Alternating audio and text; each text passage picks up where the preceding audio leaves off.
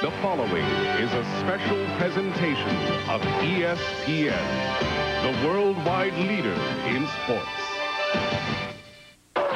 The NASCAR Winston Cup, racing's ultimate prize. To contest for it, you have to win the biggest races. Complete lap after lap with the hunger of a young lion. And at the same time, pay attention to your tutor. At every turn, there are milestones to reach. And down the stretch, mastery may be richly rewarded. NASCAR 2000, destined to be uncorked by just one man. Led by a three-time Super Bowl winning coach, Texan Bobby Labonte rode the championship crest for 34 straight races and kept his competition in his rearview mirror.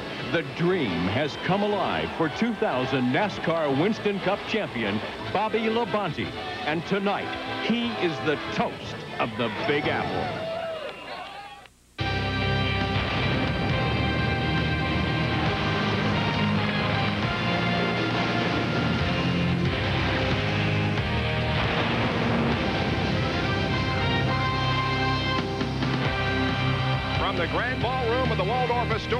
Midtown Manhattan, ESPN presents the 2000 NASCAR Winston Cup Awards Banquet.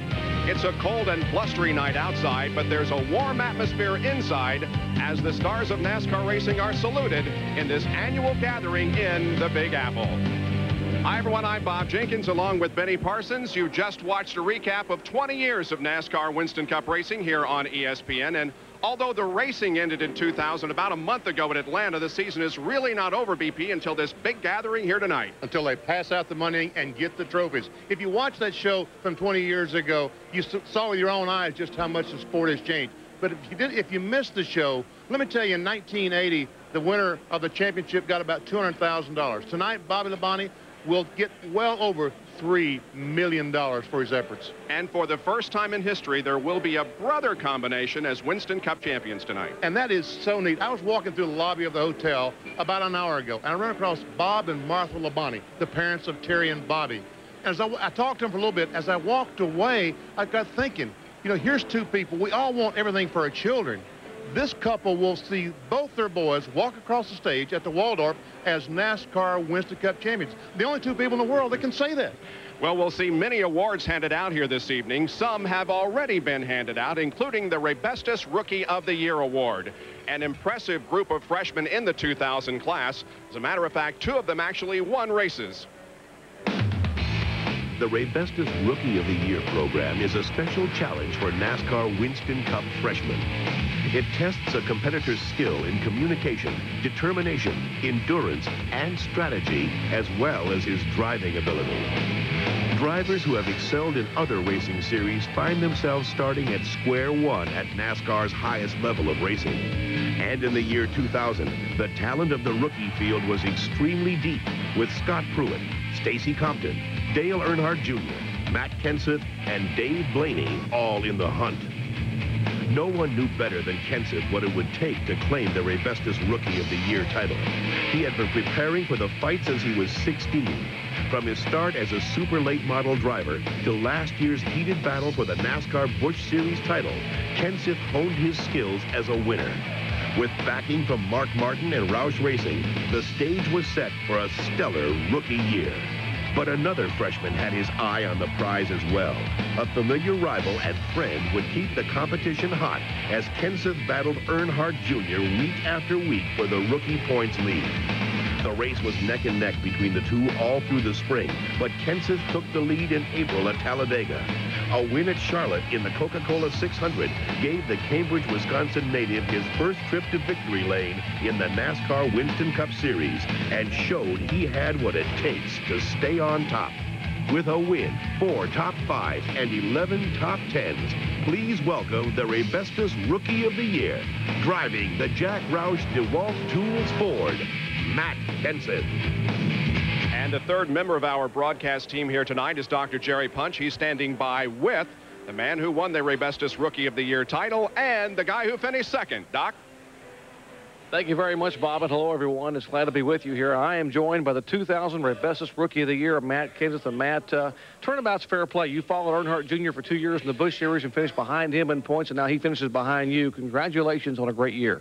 Oh, thanks a lot. We had a pretty good year. Uh, the DeWalt team did a good job for our first year to uh, uh, be as consistent as we were. We weren't quite as fast as we would like to be a few weeks, but uh, we were real consistent. It paid off. As you reflect back on this year, Matt, uh, what part or parts of this season were, to you, the most gratifying?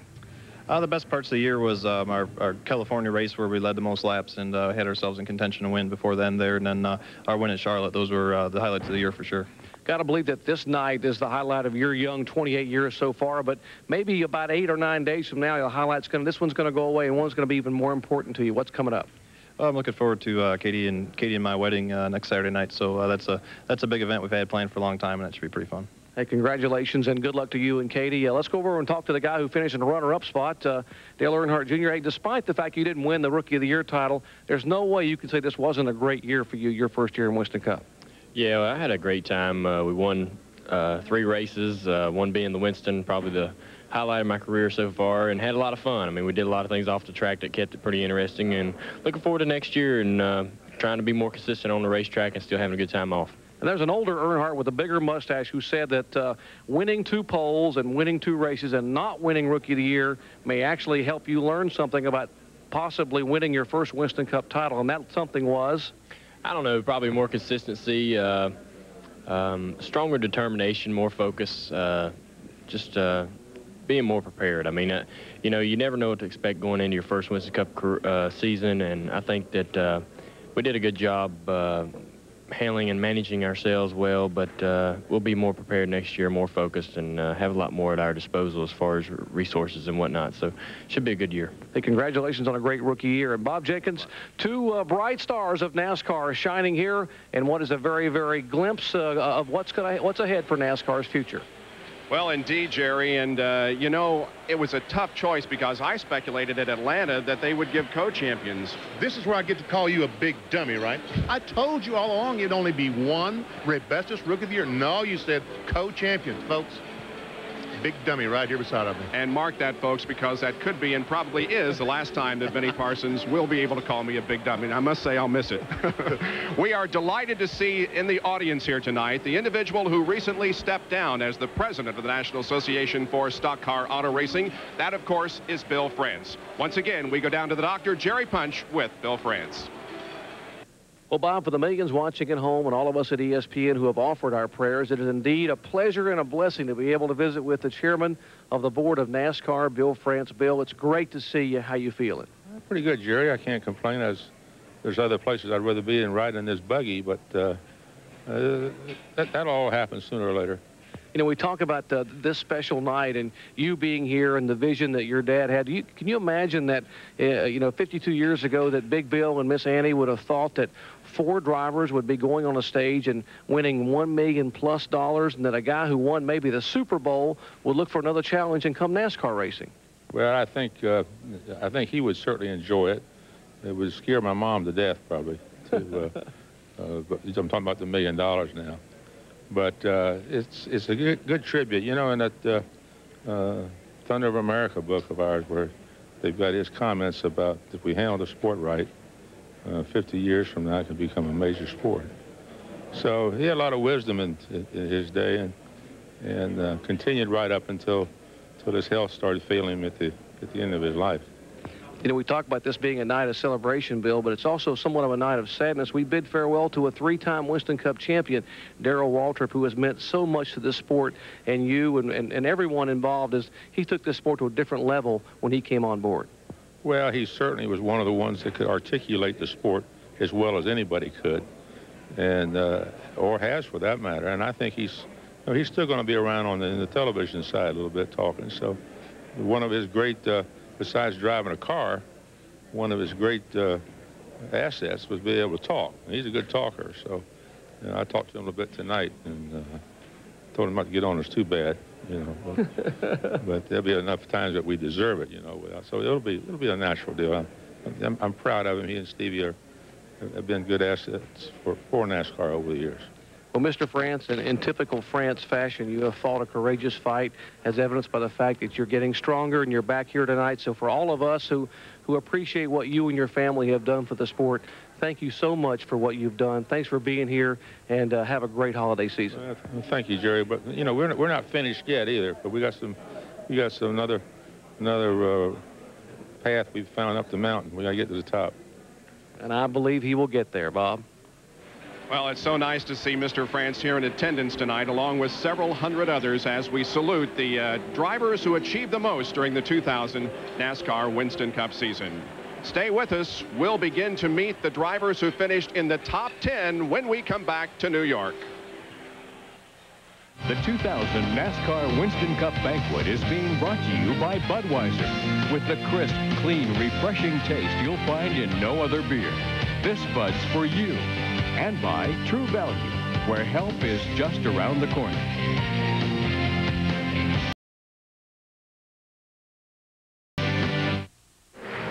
Back here in the Waldorf Astoria, the drivers who finished second through 10 in points are about to be recognized. We go to the, down to the stage, and Rick Sanders, the president of Sports Marketing Enterprises of the R.J. Reynolds all. Tobacco Company.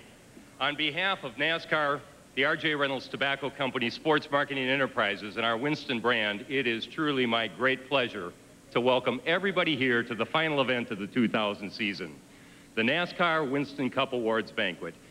And I have to tell you, what an incredible and spectacular year it was. 14 different drivers and teams fought their way to victory lane in what has to be, by almost any measure, one of the most competitive seasons in the history of this sport. But as hard as it is to win a race in the NASCAR Winston Cup Series, I think if you ask drivers, crew chiefs, and owners, they'll all tell you alike that it's even harder to capture a 10, top 10 finish in the points at the end of the year. It requires incredible consistency. It means that week in and week out, they were able to master the enormous combination of variables that make each race unique in this year's 34 race NASCAR Winston Cup season. Tonight's awards are obviously going to culminate in the crowning of the driver who demonstrated the most consistency of all, the 2000 NASCAR Winston Cup champion. But I think to truly appreciate what Bobby Labonte and the 18 team has accomplished in capturing this year's title, you all need to meet the drivers who chased him hard and made him earn every point to get that championship. There's an old adage that says each of us will be known by the company we keep. Well, if that's true, Bobby, you are going to be one spectacular champion uh, because you've kept some pretty good company on the racetrack this year. Let's meet that company now. Those drivers who captured positions 10 through 2 in the final standings for the $10 million NASCAR Winston Cup Point Fund. Finishing 10th in the 2000 standings, the driver of the number 22 Caterpillar Pontiac Grand Prix, Ward Burton. With a career best ninth place finish in last year's NASCAR Winston Cup standings, Ward Burton and his Caterpillar Pontiac team set their goals ever higher for 2000. Ward delivered quickly with a third place finish in the season's second race at Rockingham. Just three events later, Burton led 188 of the 293 laps at the Mall.com 400 and pulled into Darlington's victory lane with a convincing win. Riding a top five points position through midsummer, Burton continued to build top 10 finishes that would equal 17 by season's end. This team, led by a veteran owner and respected crew chief, prepared equipment that put Ward up front in 10 different races, leading over 400 laps. With his third place finish at Atlanta, Burton secured his second consecutive trip to the Waldorf stage tonight. Finishing 10th in this year's NASCAR Winston Cup standings, please welcome the driver of the Bill Davis Caterpillar Pontiac from South Boston, Virginia, Ward Burton.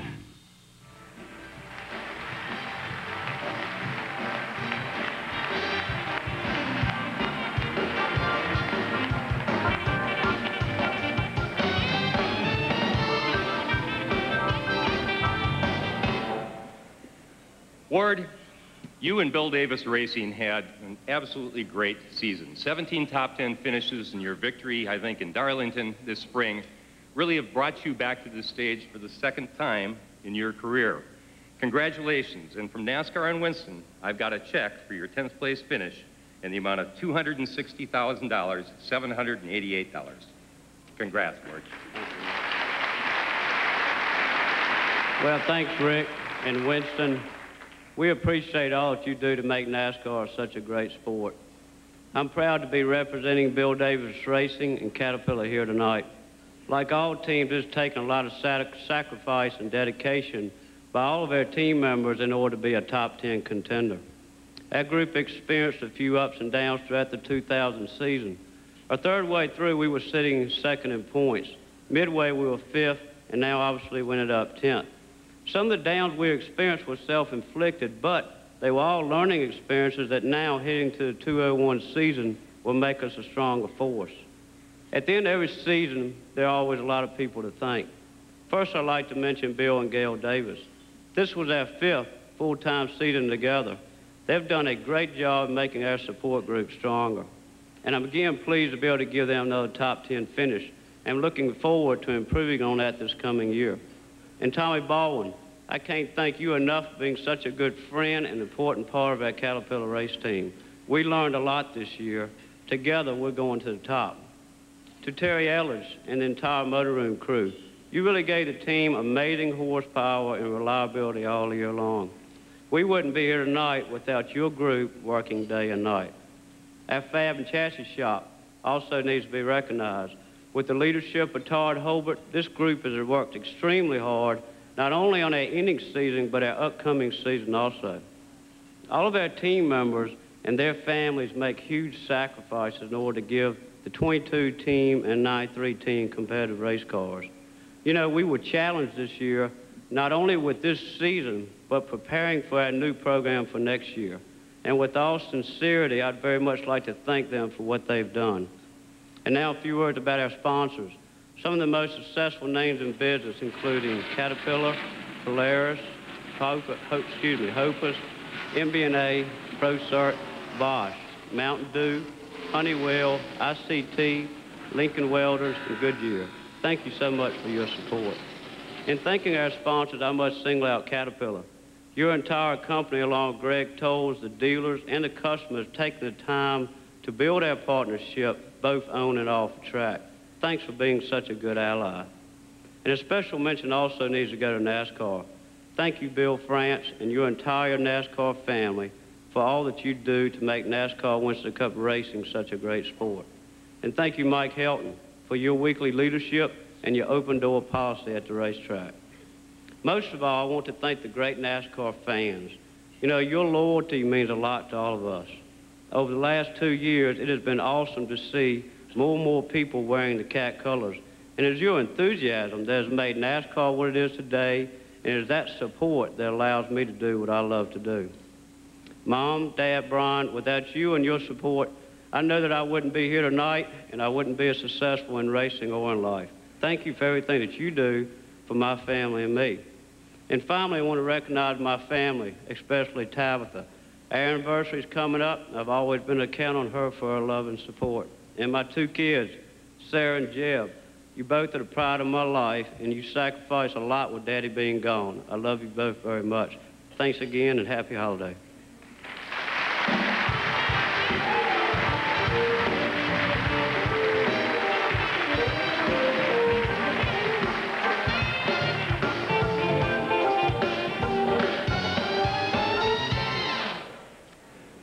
Ninth place in the point standing is a three-time NASCAR Winston Cup champion. He drives the number 24 DuPont Automotive Finishes Chevrolet Monte Carlo, Jeff Gordon. In any sports dynasty, there comes a time to refocus and rebuild. And what better cockpit captain to lead the charge than Jeff Gordon? Knowing the value of consistent top 10 finishes, Gordon strengthened the season's foundation on every type of track from Atlanta to Bristol, including the Bud Pole at Darlington and a fourth place finish at Martinsville. Time for the turning point at Talladega. Gordon and his Rainbow Warriors mastered the massive super speedway, mashed the finish line gas, and pulled into victory lane with a milestone career win, number 50. From his bull-ring background, evolved a knack for the tight and twisty NASCAR Winston Cup road course turns. At the Sears Point finish line, Gordon became the ultimate road warrior with a record six straight road course win. The lights at Richmond shone as brightly as Gordon's short track savvy. An emotional victory lane elevated Gordon to career victory 52 and ninth place on the all-time list of NASCAR Winston Cup greats. In the final 11 races of the season, Gordon racked up 10 top 10 finishes to secure his seventh consecutive appearance in New York City tonight. Ladies and gentlemen, three-time NASCAR Winston Cup champion and this year's ninth place finisher, the driver of Rick Hendrick's DuPont Automotive Finishes Chevrolet from Pittsboro, Indiana, Jeff Gordon.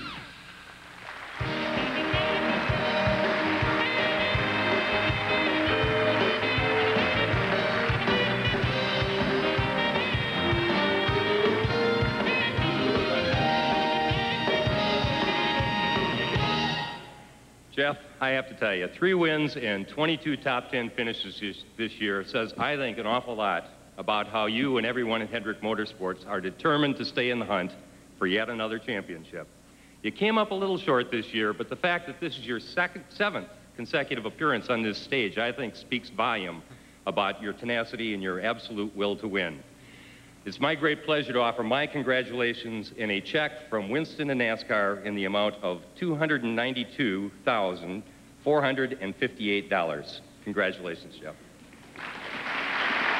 Thank you, Rick. It, it is uh, really an honor to, to be up here on stage uh, seven years in a row. And, and really, I, I want to thank uh, Winston uh, and NASCAR for, for all that they do for this sport. Uh, they're tremendous. We're very fortunate to, to have this uh, incredible banquet that we have up here. And it's been a great uh, NASCAR Winston Cup season. Uh, want to uh, say that it's wonderful to have Bill here. Uh, Bill, you've been in all of our prayers, and, and uh, it's, it's such a, a, pleasure to have you here with us tonight. You know, we're all here tonight to thank those who have supported us through our efforts. But most of all, we're here to congratulate and crown a champion. Bobby, Jimmy, Joe, Norm, Mark, all you guys, great job this year. Tremendous. You know, the entire Gibbs team earned every point and every dollar that they take home here tonight. And I'm sure that everyone feels the same way that I do. I think most people do. If someone's going to win the championship, you want to see it won with class, and you want to see it done convincingly. And that's exactly what you guys did this year. Congratulations.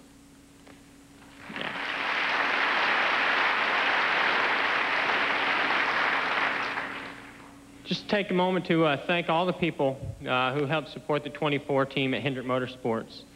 This year, DuPont extended our primary sponsorship for five years, five more years, to Lou Savelli, Ed Donnelly, and everybody at DuPont. Uh, I can't tell you how much it means to me, uh, not only from a business standpoint, but on a personal level as well. Uh, we've enjoyed a lot of success during the past eight seasons, and this team is going to do everything in its power to reward your confidence in the years to come.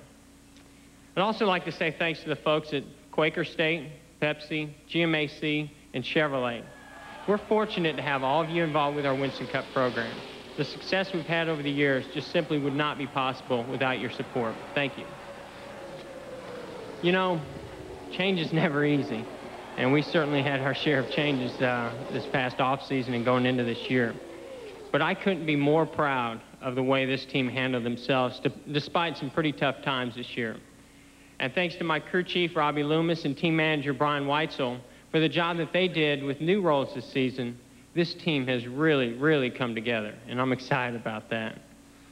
I'd like to thank that entire team, all those guys that have done a tremendous job for all their hard work and dedication, because I really believe that we've set the found, laid the foundation for future success starting next year and it'd be that much sweeter because of the adver adversity we handled together this year.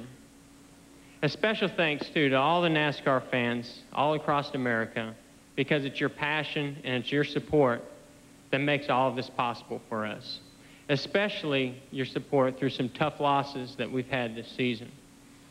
In closing, I'd like to thank my wife, Brooke, for all of her love and her support and for just truly making life such a joy.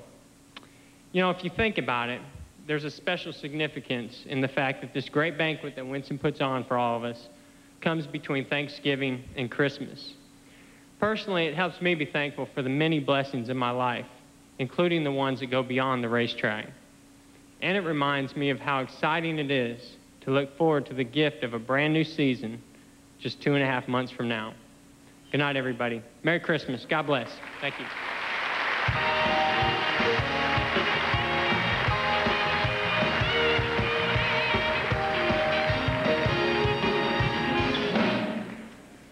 Finishing eighth in the NASCAR Winston Cup point standings is the driver of the number six Valvoline Ford Taurus, Mark Martin. Known as one of NASCAR Winston Cup's fiercest competitors, Mark Martin attacked the 2000 season with a high-potency mix of performance and consistency. Beginning with the Daytona 500, Martin catapulted into the top five in points with five straight top 10 finishes, highlighted with back-to-back third-place results at Las Vegas and Atlanta. On NASCAR's shortest track, Mark Martin held out the longest, savoring his second career win at Martinsville. It takes a great group of racing minds to tackle a demanding and varied NASCAR summer lineup. Martin delivered with six top fives, including a road course runner-up slot at Watkins Glen. Leading all competitors with 22 top 10 starts and bolstered by 20 top 10 finishes, this man now claims an honor all his own. Tonight, he makes a record 12th consecutive appearance on the New York stage. Three-time NASCAR Winston Cup runner-up and this year's eighth place finisher, driver of Jack Roush's Valvoline Cummins Ford from Batesville, Arkansas, Mark Martin.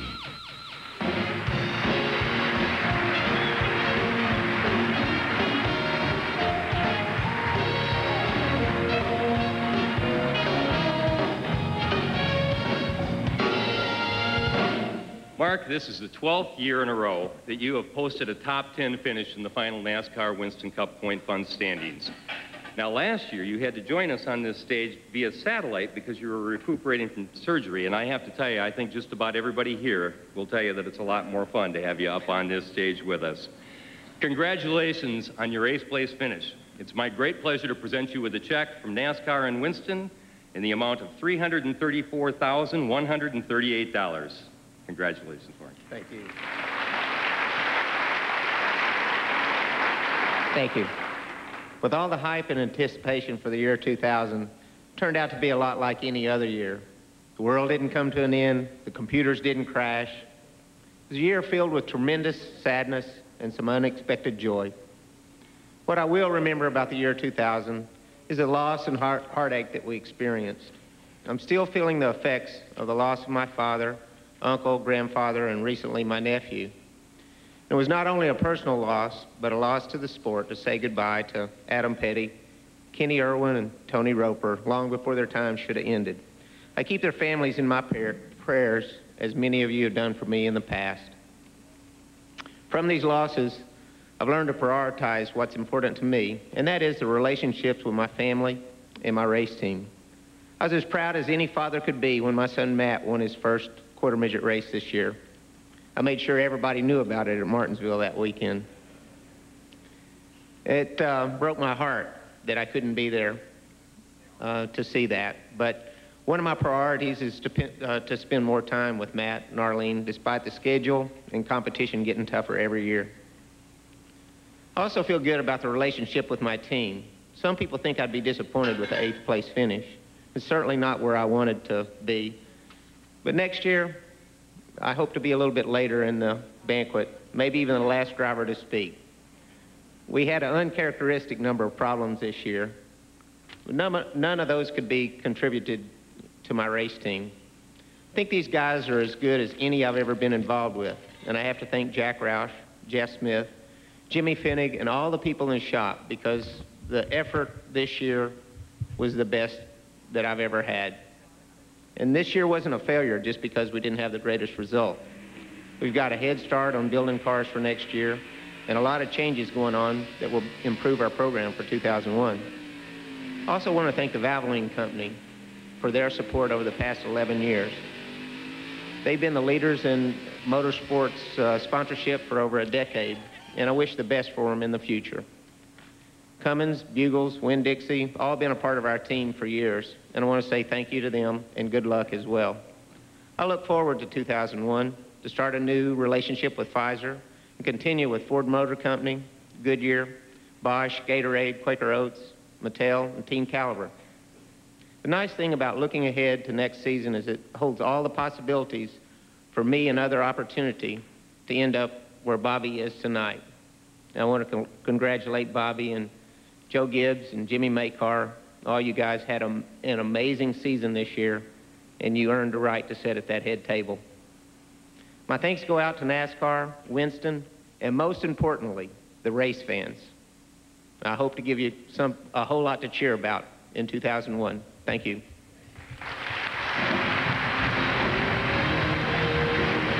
Stay with us for more of the Winston Cup Banquet.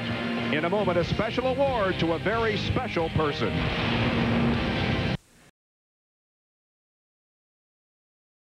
With the drop of the checkered flag at Atlanta, a stellar career came to an end. A career which included more than 800 races, 84 wins, and three championships. For the 10th time this year, Darrell Waltrip wins a Grand National race. Darrell Waltrip wins the Champion Spark Plug 500 here at Pocono. Darrell Waltrip has won the Bud 500 at Bristol. After 17 years of effort, the Daytona 500 belongs to Franklin, Tennessee's Darrell Waltrip. I won the Daytona 500. I won the Daytona 500.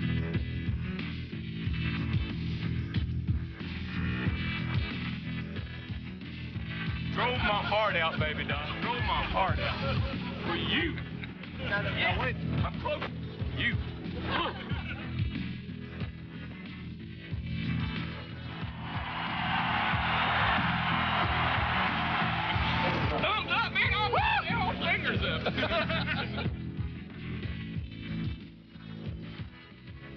It brings tears to my eyes to be able to, to get back out there and compete like this. I never thought I'd see it. I thought I was done, but I'm doing pretty good right now.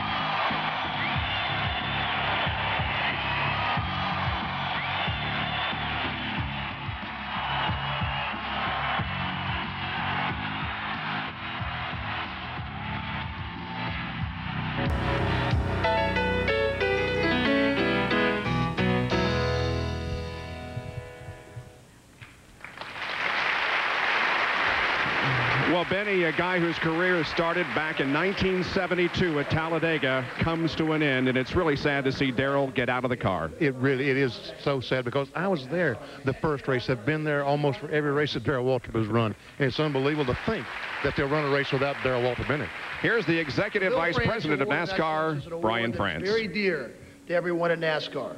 The name alone signifies that this award is very unique, recognizing a person who's done those things during their lifetime that can be defined by only one word, excellence. And reaching excellence is a rare occurrence. So rare, in fact, that unlike the rest of the awards given tonight, the Bill France Award of Excellence is not an award given out every year. Only a truly special achievement calls for the praise and prestige that this award brings. But a brash young rookie named Darrell Waltrip stepped onto the NASCAR stage in 1973, determined to set the sport on fire. And three NASCAR Winston Cup Series championships and 84 wins later, I think it's safe to say Darrell has done just that. And not only with his driving prowess and dominating manner in which he ruled the sport for over 25 years, but with his quick wit and charming personality. You know, 20 years from now, we won't remember which races he won or how many times he started from the pole. But we will remember his victory shuffle in Daytona, his emotional interviews after a tough race, his exuberance in starting the Brickyard 400 from the outside pole, and this his final season as a NASCAR driver. You know, it's been said that the greatest compliment you can pay an athlete is that he or she revolutionized their sport. Darrell Waltrip changed NASCAR like no one before him. He is the bridge between yesterday's quiet heroes and today's savvy superstars. Through the 70s, 80s, and 90s, Darrell was a voice for this sport, an ambassador for NASCAR's values and goals, and bringing attention to the sport, not only with his talent, but with his heart. Thankfully, Darrell will be stepping away. Thankfully, Darrell will not be stepping away from the sport. Excuse me. Just changing his point of view. Instead of watching the field from the rearview mirror as he did for much of his driving career, he'll be watching the race from the broadcast booth as an analyst for ne next year's Fox coverage on NASCAR. And I think it's safe to say he'll be a huge success. Darrell, please join me on the stage tonight.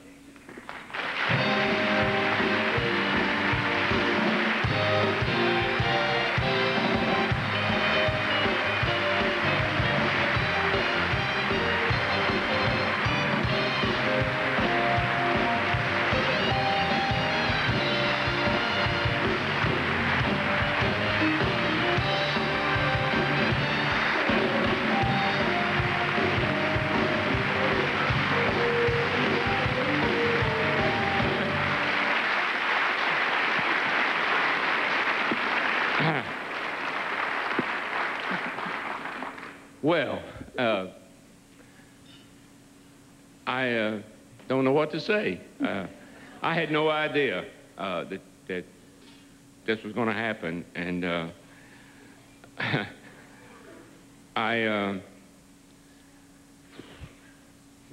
you know, I'm like so many others in this room, I, I am no different than all the other guys that have been in this sport done what I've done, competed on the tracks I have competed on, and I'm, I'm no different than those other guys. I, I, I have a huge love for this sport, the people in it. I, I, I, I'm so fortunate because next year I still get to be in this sport. I, I am retiring as a driver, but I'll still be in the sport and be able to, to be with the people I love. This is, this is my sanctuary. This is where I long to be. When I was a little kid, I longed to be here tonight on stage. Now, there's been three of these things that I've really enjoyed. and this will was this one will certainly be the most memorable one of the of all the others. So, I, I, drew, I truly thank you folks and Mr. France. It does my heart so much good to be able to look over there and see you here tonight and that you're uh, still out there giving us all those tips. That's what he calls them. and uh, I look forward to, to working in the TV booth and, and uh, having you be my uh, ears to tell me how I'm doing. Uh, it's going to be a great year next year, and I, I thank you very much. Thank all of y'all. I'm, I'm babbling a little bit, but thank you very much. And this is, this is, this is as much a part of all this as I, I, I tell people when they were talking about retiring, and, I, and it was the end of my career, and Stevie said, don't forget it's the end of my career too. So uh, she's been right here with me the whole time, and thank you from, from our hearts, and uh, we just look forward to doing a good job for the sport in another way.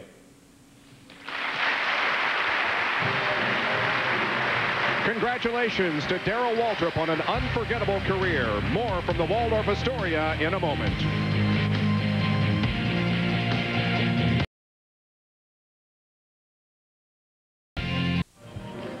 We go back down to the stage here, and the president of Sports Marketing Enterprises, Mr. Rick Sanders. This year's seventh place finisher is the 1989 NASCAR Winston Cup champion. He drives the number two Miller Lite Ford Taurus, Rusty Wallace. As a 20-year NASCAR Winston Cup veteran, Rusty Wallace eyed 2000 with steely determination. A season of promise unfolded into a year of milestones and records. Starting on a high note with a fourth place at Daytona and a bud pole at Rockingham, Wallace had to wait to become the headliner. Returning to the scene of his very first win in 1986, Rusty celebrated career win number 50 at Bristol. With the victory came the extension of a winning streak that now stretches 15 consecutive years. Wallace and his brain trust knew that the best chance of finishing up front comes from starting up front. From Martinsville to Sears Point to Phoenix, Rusty won a season-high total of nine Bud Poles. Their plan worked. From the front row at Pocono in July, Wallace grasped the victory in a white flag cliffhanger. On the sweeping banks at Michigan, Wallace led the most laps and left everyone in his rear view mirror. One week later, he turned the double at Bristol for career victory number 53. By the end of 2000, Rusty Wallace had led over 1,700 circuits, the most of any driver this season. Appearing in the Big Apple for the 14th time in his career, ladies and gentlemen, please welcome the 1989 NASCAR Winston Cup champion and this year's seventh place finisher, driver of Roger Penske's Miller Lite Ford from St. Louis, Missouri, Rusty Wallace.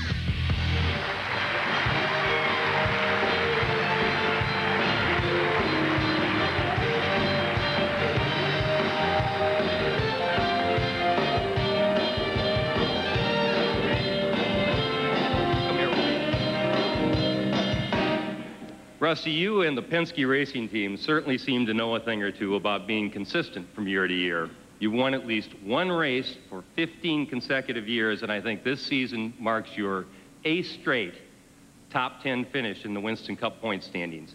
Now, you add to that nine poles this year, and I'd say uh, it's a pretty remarkable measure of consistency overall, my friend.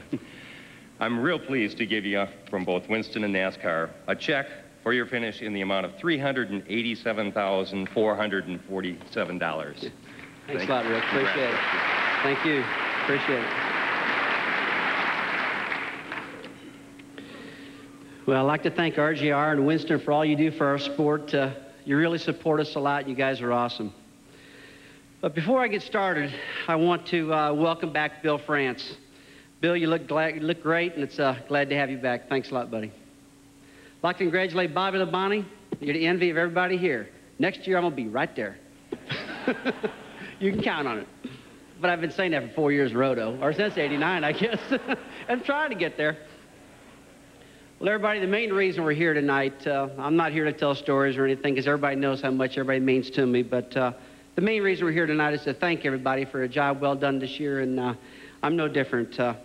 I'd like to just to sit here for a second, and if you'll bear with me for a minute, I'd like to thank every single sponsor because those guys are very important for what they do for us. I'd like to thank the Miller Brewing Company. They've been with me for a long time.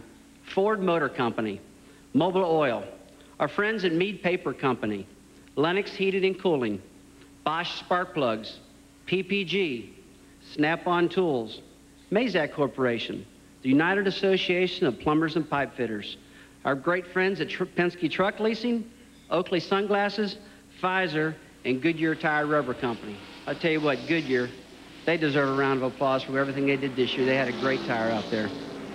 I'd also like to recognize some of the new companies that I'll be doing business with this year personally.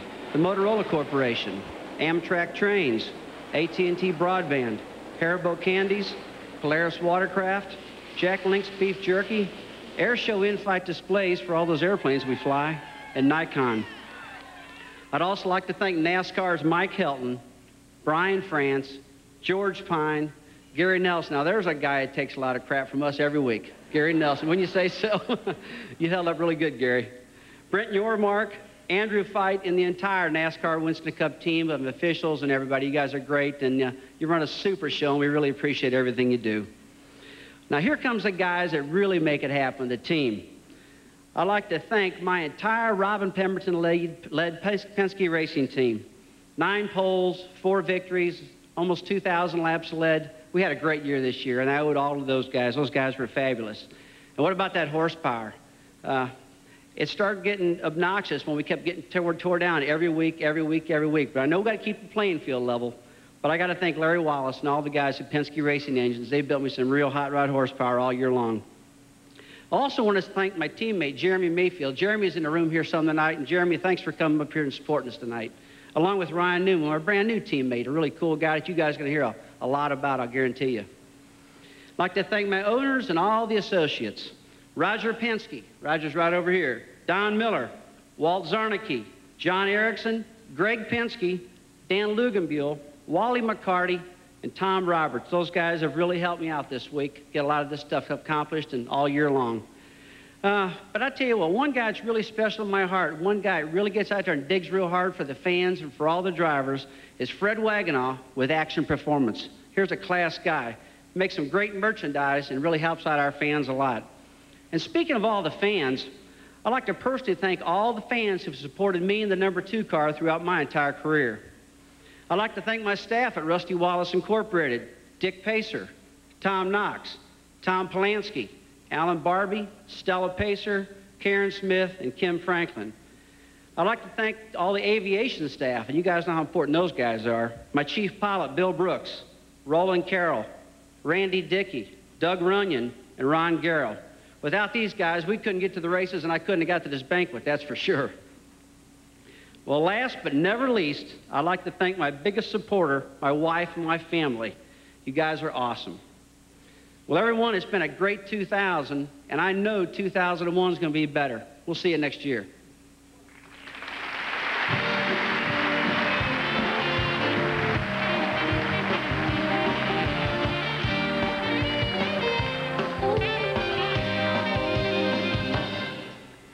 The driver who finished sixth this season was the 1999 Raybestos Rookie of the Year. He sits behind the wheel of the number 20 Home Depot Pontiac Grand Prix, Tony Stewart. 1999 Raybestos Rookie of the Year, Tony Stewart, came into the NASCAR Winston Cup 2000 season with a goal to keep success in front of his sophomore ranking. Stewart and his Home Depot team served early notice with a fourth at Rockingham and a runner-up finish at Las Vegas. It took 10 more races for his team to find its perfect groove, but when they did, it was a full throttle ride. At Dover in June, Stewart led the most laps and the charge to victory lane. Just one week later, his Michigan momentum was too much for the competition. With skills honed on the flat tracks of his champion open-wheel background, Stewart led the most laps at Loudon in July and elevated himself into the championship hunt. Only a handful of men can say they pulled the double at the Monster Mile. Stewart simply out-dovered Dover. Using the thrust of success, one race later, he became the man at Martinsville. It was an all Joe Gibbs racing weekend in South Florida. As his teammate clinched his first NASCAR Winston Cup, Tony Stewart inked his name as the only winner in the two years NASCAR has raced at Homestead. With six wins, two Bud Poles, and 23 top 10 finishes, he is a sophomore no more. But you can keep success in front of Stewart. Please welcome the driver of Joe Gibbs Home Depot Pontiac and this year's sixth place finisher in the NASCAR Winston Cup standings from Rushville, Indiana, Tony Stewart.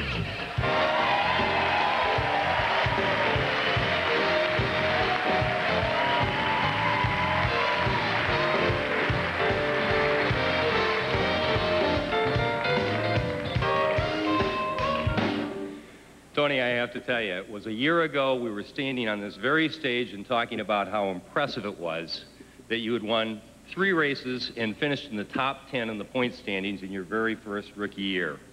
Apparently, you and Joe Gibbs Racing haven't heard of the sophomore slump that snakes bite, snake bites so many teams because this year you have won six races, more than anybody else in the circuit.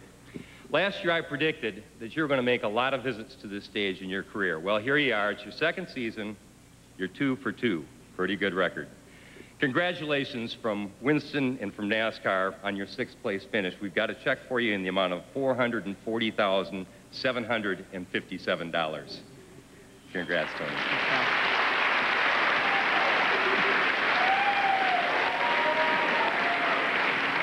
Well, I know I got to make this quick because Joe said he wanted a lot of time tonight. Bobby's all right, but Joe wants a lot more time than Bobby, so I got to make this quick. But I guess we can kind of put the rest this uh, notion of a sophomore jinx with the six wins and two poles this year. But we learned a lot this year, uh, not only on the track but off the track this year, and a lot of that was due to a lot of great people with uh, a lot of the drivers and teams. And uh, all uh, all through the season, it just strengthened my feelings that I'm surrounded by the best people in auto racing with NASCAR.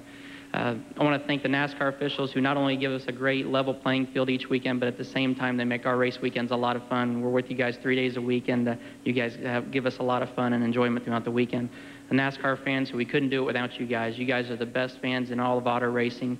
I'll put you guys up against any race fans from any different circuit across the world and thank the drivers. You guys are our family. Uh, as much as we're with each other over 120 days a year, you guys become as much of our family as our real families at home. And I want to thank all of you guys for your support this year and uh, your just friendships on the weekends. We really appreciate it. Bobby, I want to congratulate you on a great championship. You're the best teammate I, I ever could have hoped for and asked for. You know, through your trials this year and uh, your hard work of trying to win a championship, you were always coming over and making sure that we were under control and uh, everything that you could do to help us, you were always there for us, and I really appreciate that.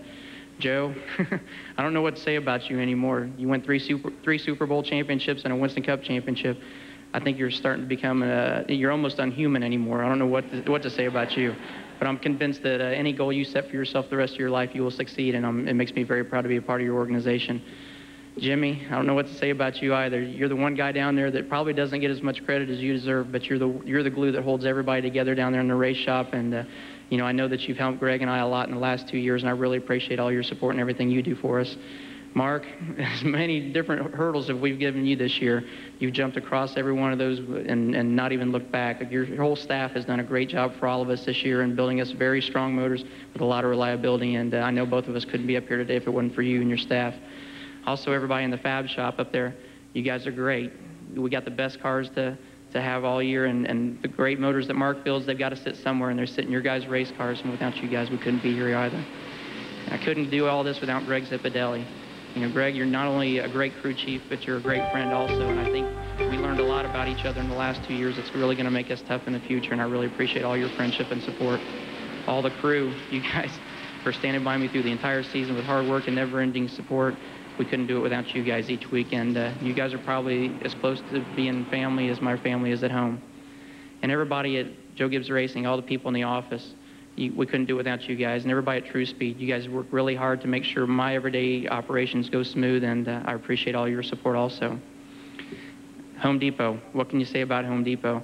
It's probably been the best marriage in, uh, in Winston Cup racing of the 21 years I've been racing, you guys have given me the most support. And, and not only do you care about what we do with the race team and how we promote you as a sponsor, but you also care about us as people. And we really appreciate everything you guys do for us. And there's so many associates and so many family members. I, I hate to try to mention all of them tonight, but I am going to be like Rusty. I'm going to go ahead and go through my list. We have everybody from Ridgid Power Tools, Husky Tools and Boxes, Pontiac and Goodyear, Coca-Cola, Nike, Action Performance, Gum Out and Daewoo, Chef Boyardee, Old Spice, and Crunch and Munch, and my personal sponsors MCI WorldCom, Bass Pro Shops, Sea-Doo, Simpson, Beam Designs, NASCAR Cafe, the NASCAR Speed Parks, NASCAR Silicon Motor Speedways, Renegade Trailers, and the Arvin Industries. We appreciate everything you guys do for us. You guys make it all worthwhile and make it all possible for us to do what we do. And last but not least, last but not least, we got to thank RJR Reynolds for making this series what it is for us with NASCAR. Cary Agajanian for all of your support this year and all your hard work and my family, my mom and dad and my sister who work very hard in our office for us, and my girlfriend Krista who keeps me straight on the weekends. So thanks for all your support. Everybody have a good holiday season. We'll look forward to seeing you at Daytona in February.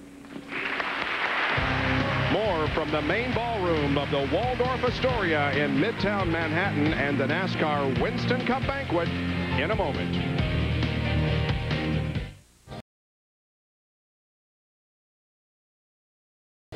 As we continue to salute the top 10 in points in the 2000 Winston Cup Series, Rick Sanders is about to introduce the fifth place the finisher. The driver of the number 28 Texaco Havoline Ford Taurus finished fifth in this year's final NASCAR Winston Cup point standings. Ricky Rudd Newly joined with a skilled team and armed with a fresh perspective, Ricky Rudd began the NASCAR Winston Cup 2000 season in star style, taking victory in the second Gatorade 125 and assuring a front row spot for the Daytona 500.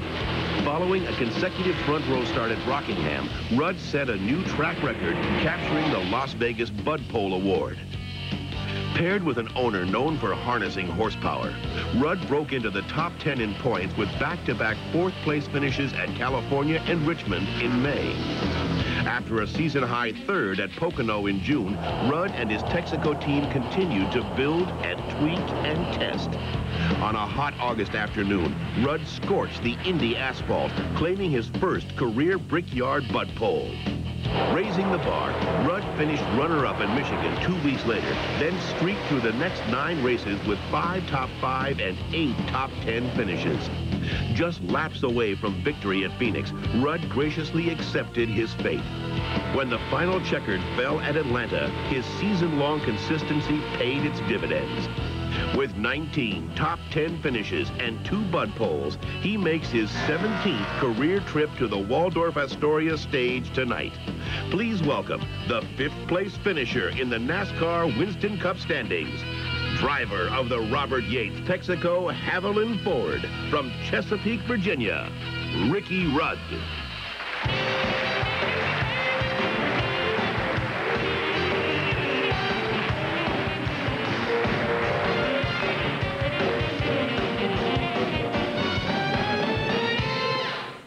Wow. Ricky, you certainly had a solid season in 2000 with 12 top five finishes. I guess I have to say that giving up ownership of your own car and joining Robert Yates Racing definitely seems to be agreeing with you.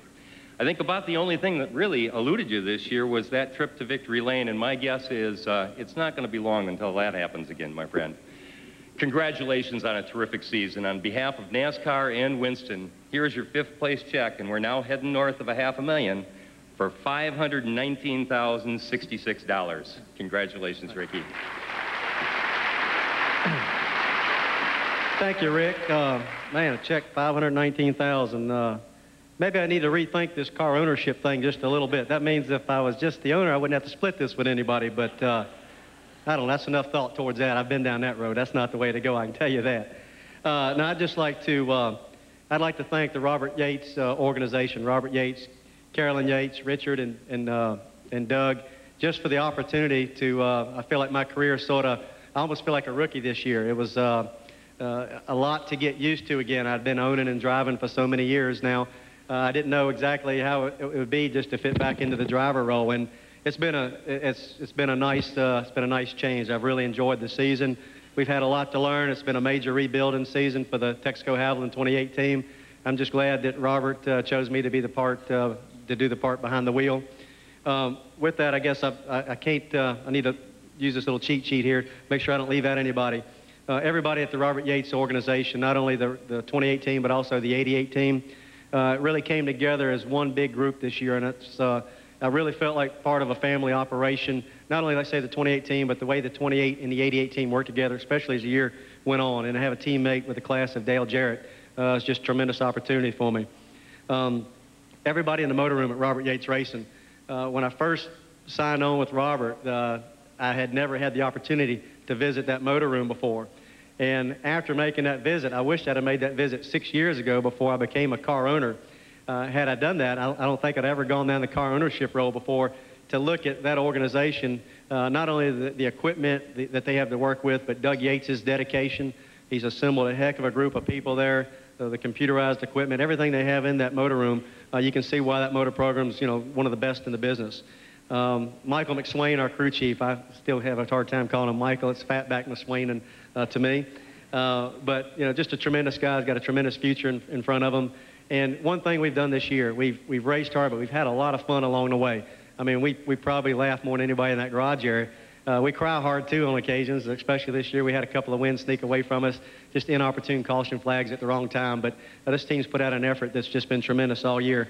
Uh, back at the shop, we've got Raymond Fox, uh, Pete Peterson. There's a lot of other guys there that I couldn't go through all that names uh, without uh, offending somebody. But anyway, those guys have given us 100% back in the shop. Our sponsors, Texaco, Ford, Goodyear, Raybestos, Coca-Cola, Fleetwood, Mac Tools, UPS. All these guys have just made it, have come on board to give us the financial support it takes to, to put a race team out there week in and week out.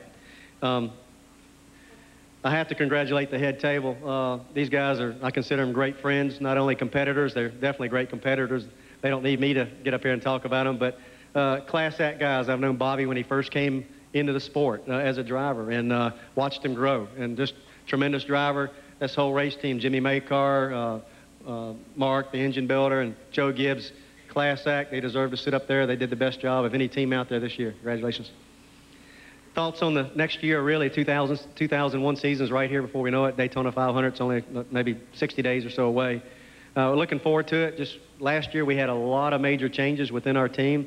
Uh, going into the 2001 season, it's just been a little bit of fine tuning. Uh, we feel like the team really came together, especially in the second part of the season.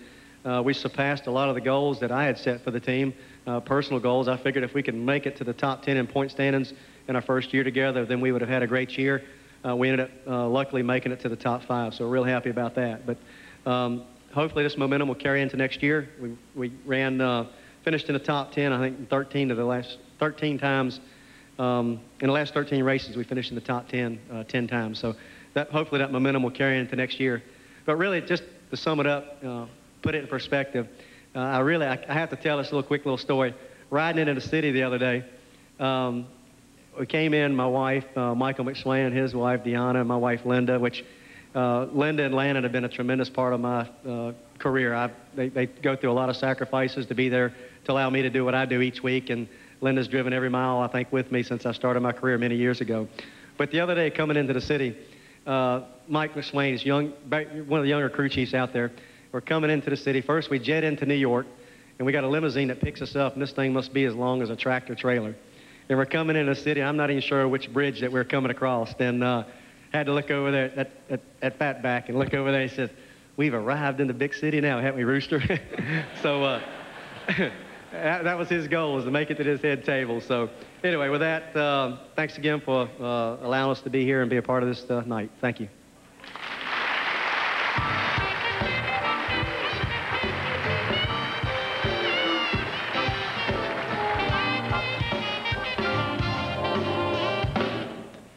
Fourth place this year was captured by the 1999 NASCAR Winston Cup champion, he drives the number 88 Ford Quality Care Ford Credit Ford Taurus, Dale Jarrett. Ushering in the new century of NASCAR Winston Cup racing, defending champion Dale Jarrett wasted no time picking up where he left off. After winning the Bud Pole for the Daytona 500, Jarrett and his Quality Care Ford Credit team cultivated a late race strategy, then blasted past his fellow competitors and into a familiar Daytona victory lane. But his hat-trick 500 win was one of no Bull 5 proportions and a second Winston million dollar payday of Jarrett's career. Keeping his closest competitors within reach, Jarrett continued to build his points base with a runner-up finish at Darlington in March and two more top fives at Martinsville and Richmond. Dale and his experienced team then began a summer trek that was flat out unmatched by anyone, anywhere. From Memorial Weekend in Charlotte to Labor Day in Darlington, DJ scored 13 straight top nine finishes, catapulting into second place in the NASCAR Winston Cup standings. In dominating fashion, Jarrett virtually bookended 2000 with his first career victory at Rockingham in October. Tallying 24 top 10 finishes, he concludes his season tied only with our new champion and runner-up. Ladies and gentlemen, the 1999 NASCAR Winston Cup champion and this year's fourth place finisher, the driver of Robert Yates Quality Care Ford Credit Ford from Hickory, North Carolina, Dale Jarrett.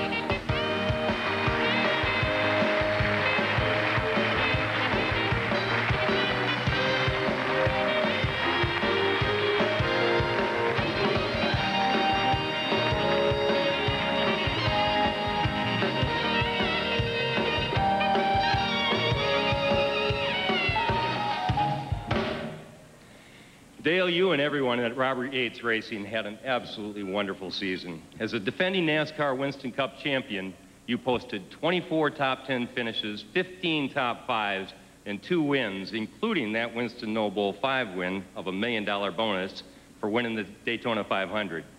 On behalf of everybody at NASCAR and Winston, I want to congratulate you on a great season, but more importantly, Dale, I want to thank you for being such a great champion and representing this sport so well throughout the entire year. You are truly a class act, and we appreciate everything you've done for us. Congratulations again on your fourth place finish.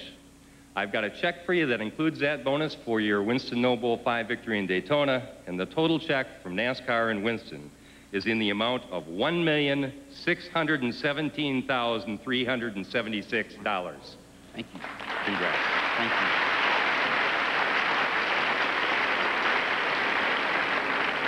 Thank you. Before I again, Mr. France, it's great to see you here. Uh, DW, all I can say is thanks from everyone. From the bottom of my heart, thank you very much. Matt Kenseth, uh, congratulations to you on Rookie of the Year. I'd like to begin by thanking Rick and thanking everyone at RJ Reynolds and your Winston brand for helping make our year as champions one we will never forget. Now, as I speak of champions, I would like to give my congratulations to this year's championship team. And of course, this champion message is brought to you by the Coca-Cola Racing family of drivers, Planters Peanuts, and Nike. We have those three associations in common there. So. Joe and Jimmy, you have been winners at everything you've done, and you're certainly a, built a winning organization at Joe Gibbs Racing. You win with class and style, but most importantly, you and your teams win with a positive Christian attitude. Thanks, Joe, for bringing a lot of credibility to our sport. Bobby, you've always won with a style that is admired by many. You work hard, you win, you're respected by everyone, and you will be a great champion for our sport. Congratulations to you and your entire team. Congratulations, guys.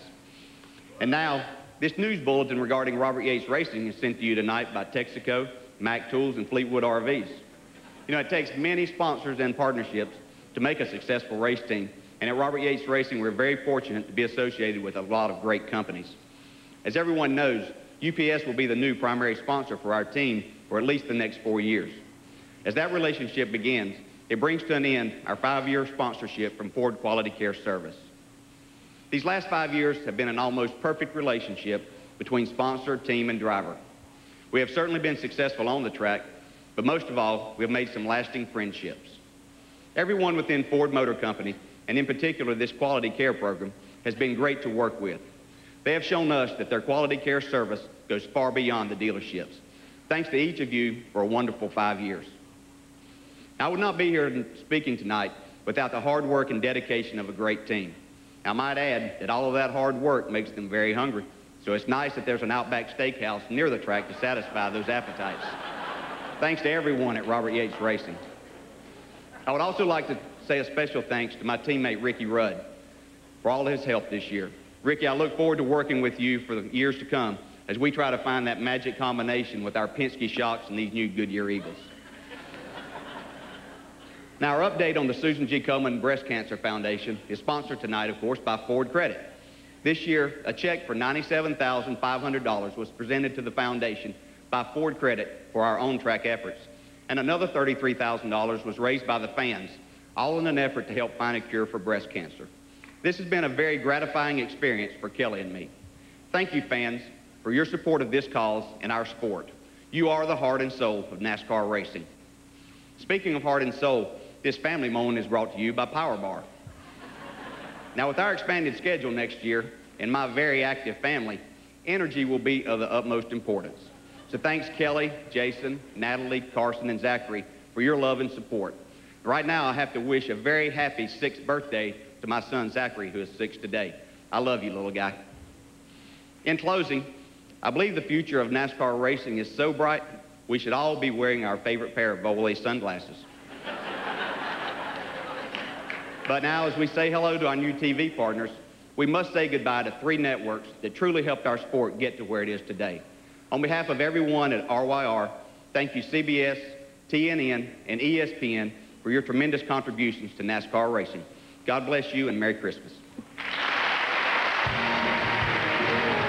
Coming up, the third place and runner-up finishers in the 2000 NASCAR Winston Cup Series from New York.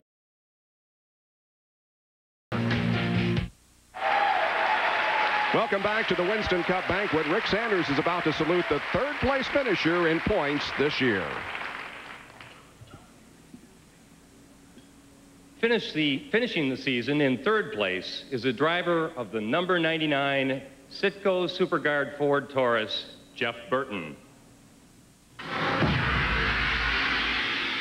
A NASCAR Winston Cup championship contender from the fall of the first 2000 green flag, Jeff Burton set upon the season with a determined focus, backed up by four years experience with his Jack Roush team.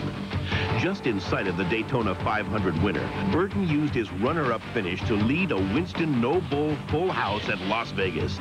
Not gambling with his opportunity, he threw down a royal flush and claimed the million-dollar jackpot. Burton proved his ability at the shortest and longest events on the NASCAR Winston Cup Tour, with runner-up finishes at Martinsville and Talladega in April. Poised to better his Daytona 500 finish, Burton lit the fuse and climbed the final rung. When the fireworks ended on the track, Burton shone brightest as they continued crackling in the balmy July nighttime Daytona sky. Bolstered by four more summer top five tallies, Burton registered his fourth win at Loudon in as many years. In the fall championship stretch, Burton and his posse targeted yet another ride into victory lane.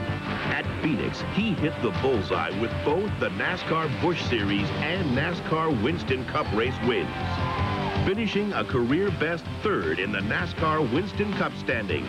Please welcome the driver of Jack Roush's Citgo Super Guard Ford from South Boston, Virginia, Jeff Burton.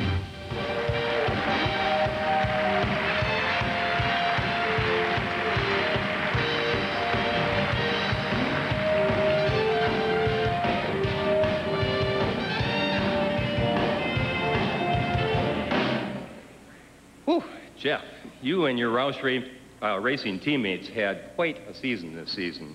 You won four races, battled hard for the Winston Cup Championship, and at the end of the season, I think you earned a career high best third place finish in the point standings overall. And I think, if my memory is correct, this makes four consecutive years where you've had top five finishes in the, in the final NASCAR Winston Cup point standings.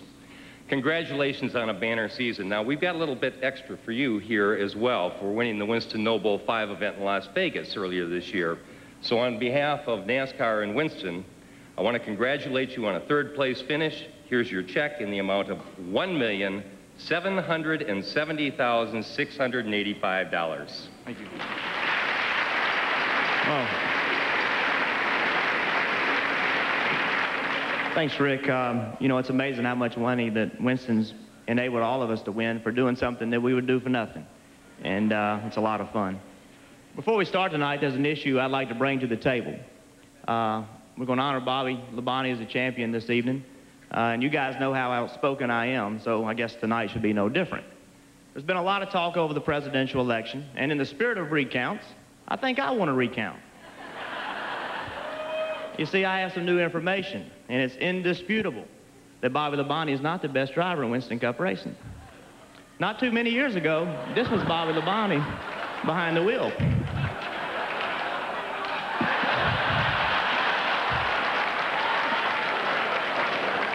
Now, don't you agree that this proves that he's not the best driver?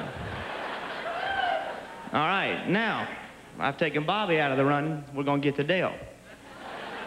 Although we've seen Dale drive, and I'll save those pictures for later because he'll get me back. Uh, but Mike Helton, I'll get my group together, and we'll make sure the, cha the uh, championship is transferred over in an orderly fashion. Seriously, though, and he's going to get me back, too. Uh, Bobby and all you guys, you proved to be the winner. Uh, you guys did a better job than the rest of us did this year, and you are, without a question, the deserving champions this year. You, you just did a great job. To say this has been an unbelievable year, I think would be an understatement. We've had some great times, but we've also had some very tough times. In the middle of the season, it was unfortunate that Exide needed to leave Roush Racing. However, we gained one of the most recognizable and supportive sponsors in NASCAR, that being Citgo Petroleum. I want to personally thank them for their support we've already received, and I'm really looking forward to a great future together. I would be remiss if I didn't mention our associate sponsors. Every one of them supported us through the transition. I want to thank SKF, Chicago Rawhide, Parts Plus, Coca-Cola, On-Site, Bosch, Borg Warner, and of course, Goodyear and Ford. At Roush, the sponsor change proved to be a seamless effort. Everyone pitched in to take care of all the details in an amazing fashion. I'm really, really proud of what our race team was able to do this season. We worked together, I believe, better than we ever have. And we won our share of races. Believe it or not, we even sat on a pole, which for us is pretty amazing. Uh, our guys worked together. We won the pit crew challenge, and that was a big deal.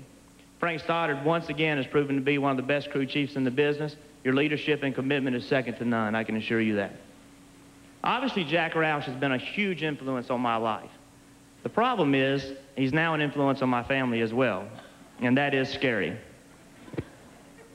After Phoenix this year, uh, and we, by the way, we won both races, and I thought we did pretty well, I promised my daughter I'd take her to school. So I get home at 2 in the morning, get up 6 in the morning to drive her to school. We were talking on the way that she wanted to buy something, and I told her, well, Paige, it's just too expensive. My daughter's answer to me that morning was, well, Dad, you just got to race harder. I was terrified to look in the rearview mirror because I thought she'd be wearing a silly straw hat. Scared me to death.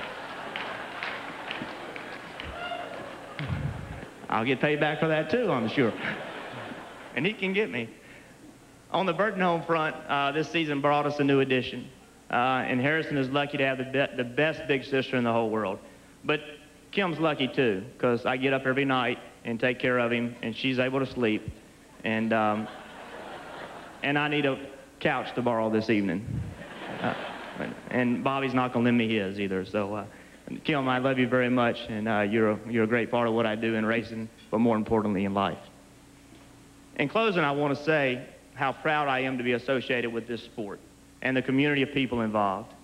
We're a sport that has fierce competition, but off the track, we all work together to try to build better communities for everyone. At times, it's been a tough year for, NAS for the NASCAR family, but through it all, we found strength in each other, and we will continue to work together to make our future brighter. That is the most important thing we can do. Thank you, guys. Have a nice Christmas.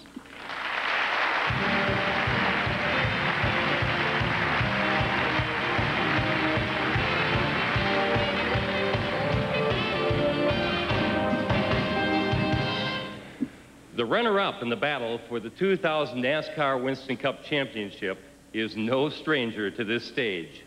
He's a seven-time NASCAR Winston Cup champion and the driver of the black number three GM Goodwrench Chevrolet Monte Carlo, Dale Earnhardt.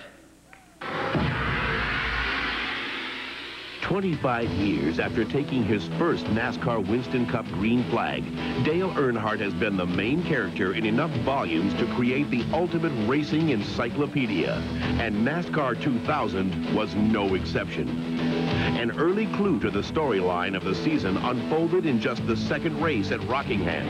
Finishing a close runner-up, it took only two races for Earnhardt to turn the plot in his favor. After 500 miles at Atlanta, it came down to one of the closest finishes in NASCAR history. But this time, it was Earnhardt writing the victory lane chapter. Dale and his team turned up the heat on the championship with an incredible stretch of top eight finishes beginning at Charlotte in May and ending with Loudon in July. In his unique and commanding style, Earnhardt kept pressing. Not only did he rack up top four finishes at Bristol, Darlington, and Richmond, he continued to build upon 34 straight races that never inked DNF in the status column. With five races remaining, Earnhardt took center stage in the most unpredictable event of the year. As over 170,000 fans held their breath, Dale Earnhardt coolly accepted the 10-lap-to-go signal, calculating he used every inch of the Talladega asphalt and from out of sight, just plain rocketed to the front. It was a no-bull Winston million-dollar win. And for one lucky fan, Dale went from zero to hero. Dale Earnhardt never gave up on winning his eighth NASCAR Winston Cup title. Even after it was conceded, he raced every lap as if it were the deciding one. Earnhardt penned the last line with a runner-up finish at Atlanta and climbed back into second place in the points. And you know he is already thinking about how to write next year's volume. Could it be his eighth bestseller? Here is the seven-time NASCAR Winston Cup champion and the 2000 runner-up, driver of the Richard Childress GM Goodwrench Service Plus Chevrolet from Kannapolis, North Carolina, Dale Earnhardt.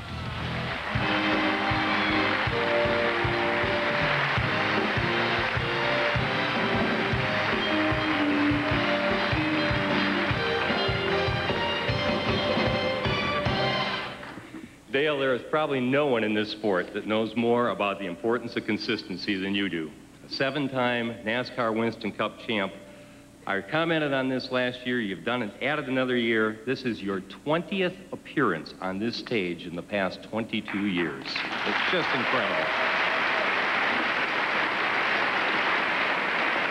I think you and the entire Richard Childress racing team continue to put everybody on notice that you're going to be unrelenting in that, in that pursuit of that eighth championship.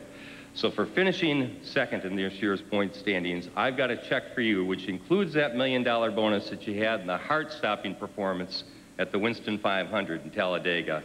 A check in the total amount of $2,103,995. Congratulations. Thank you. Well, uh, R.J. Reynolds has uh, been tremendous through those 20-some visits up here. Uh, it's been great uh, winning championships and races and getting their money, but they've been really supported NASCAR and uh, all the tracks, and uh, everybody is a lot better off because of them. But they've been super over the years, so I'd like to thank them very much. And um, it was a lot of fun winning Talladega and seeing that guy win a million dollars too. See Richard Rick win a million, he was excited about that. Bobby, congratulations, buddy. You just kept outdoing me one, didn't you? Every, every time I'd have a bad day, you'd have a bad day, I'd have a bad day. It was just a tough time catching up with them guys. Couldn't do it. But uh, congratulations, Joe, and all the team. Everybody worked hard to do that. I don't know how hard it is to win a championship. I want to do it. I want to be back up here. So I'm still got a chance, maybe, if Richard keeps me around a while longer. But uh, congratulations. It also was fun watching Matt Kenseth and Dale Jr. race for that championship, and all the rookies, really. But uh, especially them two, from coming from Busch and going into Winston Cup and seeing them kids race. It was a lot of fun. Going to see, uh, sad to see old Darrell go uh, from driving race cars. I've rubbed quite a bit of paint with that guy and learned a lot from him. He fired me from uh, driving a race car for him years ago. And I had a chance to fire him back, but I didn't when I had him work for me. So, but I let him drive to the end of the year anyway. So, but um, be easy on me on TV, would you? But uh, Richard Childress and, uh, of course, the other owners of that team is Richard, uh, as Rusty was reading them off. I got to read the other ones off. Judy Childress. Uh, that's the only one we have, Richard and Judy. She signs my check. But uh, they've uh, put some great race cars under us over the years. And Richard, working for him is like working for your best friend. Uh, we don't argue a whole lot, uh, argue a little bit, but uh, not a whole lot. But got a lot of great guys working for us. Kevin Hamlin, Danny Lawrence, and all the guys. They just keep doing more and more. It gives me great confidence to see them guys work so hard on that team and, and the confidence they see in me. So that's why we can do that much better and, and, and hopefully come back and win a championship. GM Goodwrench has been a super sponsor of ours. Uh, uh, full time since 88. I've been involved with them for a lot longer than that, but on that car and being the black Chevrolet since 1988, it's been a long time. Gar, hate to see you retire here. Are you sure you want to do that? All right, expect to see you at Daytona work on the car. Wax it for me or something. I'm going to put you to work. But uh, anyway, Chevrolet, uh, Burger King. Burger King's leaving this year. Hate to see you guys go. They've really uh, helped us out a lot. Snap-on Tools, AC Delco, Realtree, which uh, Terry Labonte and I like a lot. We get a few clothes to go deer hunting with, so we like that, that sponsor. Coca-Cola has done a, a, lot for us. Uh, they took us a, lot, a long ways with uh, their promotions they've done and a great sponsor. Bass Pro, Perdue Farms, Remington Arms, Anheuser-Busch with the Busch brand is uh, an endorsement with mine. Gargoyles and, and Action Sports Image, Fred Wagenhals, and all the guys that do a great job. 76 Racing Fuel and Goodyear Tires. Couldn't do without them tires, good big guys. Featherlite Trailers. And uh, also I have some new guys coming on next year. Nabisco, Oreo, uh, Hershey, Van Camps, Motorola, uh, just to mention a few. Working on some more, aren't you, Rich? We need some more stuff, don't we? more power. Money buys speed, I think. Uh, but uh, the NASCAR family, you guys uh, just keep taking it to another notch. Uh, Bill and Jimmy and, uh, you know, everybody. Everybody works so hard, the marketing team and everybody. But you've done a great job, and uh, you keep, you know, taking it to another level. You know, I ran second this year, and we had a great year. But still, it wasn't a bad year. I got to see both my kids win races, Dale Jr. and Kerry. Uh, Steve Park won his first race, so that was fun for us as an Earnhardt and Earnhardt owner. And uh, Ron Hornaday, you know, he won uh, Busch races for us. He won truck championships for us. And it's sad to see him go and wish him well with his new new venture with A.J. Foyt. he's going to be a tougher owner than I am. Um, also, uh, not being a bad year, uh, my daughter Kelly gave me a brand new granddaughter, so uh, it's been a pretty good year all in all, even though I did run second. But Mr. France, it's good to see you back here. Uh, great battle you had this year, and you won the race, I think. Uh, you beat them, and uh, look forward to going fishing next year with you, if you'll still go with me. Uh, but uh, it's been a good year. We're looking forward to next year, looking forward to Daytona. Uh, I think I'll go deer hunting now. Thank you.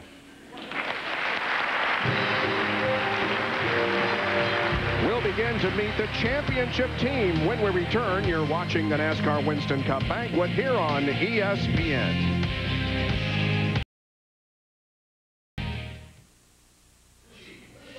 Members of the championship team, including crew chief Jimmy Makar, are about to be saluted. Here is the NASCAR Winston Cup Series Director, Mr. Gary Nelson. Thank you, Alan. On a race team, the man most responsible for keeping his team focused on their goal is the crew chief. The number 18 Interstate Batteries team needed to focus and run strong this year as the team was in a battle for the championship. With Earnhardt, Burton, and Jarrett nipping at their heels, the Interstate Batteries team had to maintain their composure and hold on to the points lead to keep Bobby Labonte at the head of the pack each week. In 2000, Jimmy Makar did all of that and more. Jimmy did a great job leading his team, developing strategies, and setting up cars not only to win the race, but to win the championship. I'm honored to be here tonight to present the Championship Crew Chief Award to Jimmy Makar. Congratulations, Jimmy.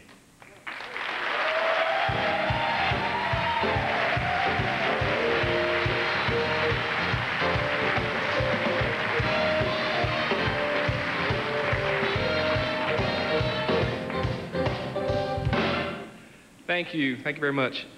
I consider it a blessing to be here this evening, and for that, I, uh, I must begin with a grateful acknowledgement to the Lord for bringing together all the individuals at Joe Gibbs Racing and providing each of them with their talents and gifts that have enabled this team to meet each challenge and victory. Meeting challenges is something that I have learned early on from my parents. My dad's dream of owning a race car and my mom's encouragement of his dream is how I've become involved in racing.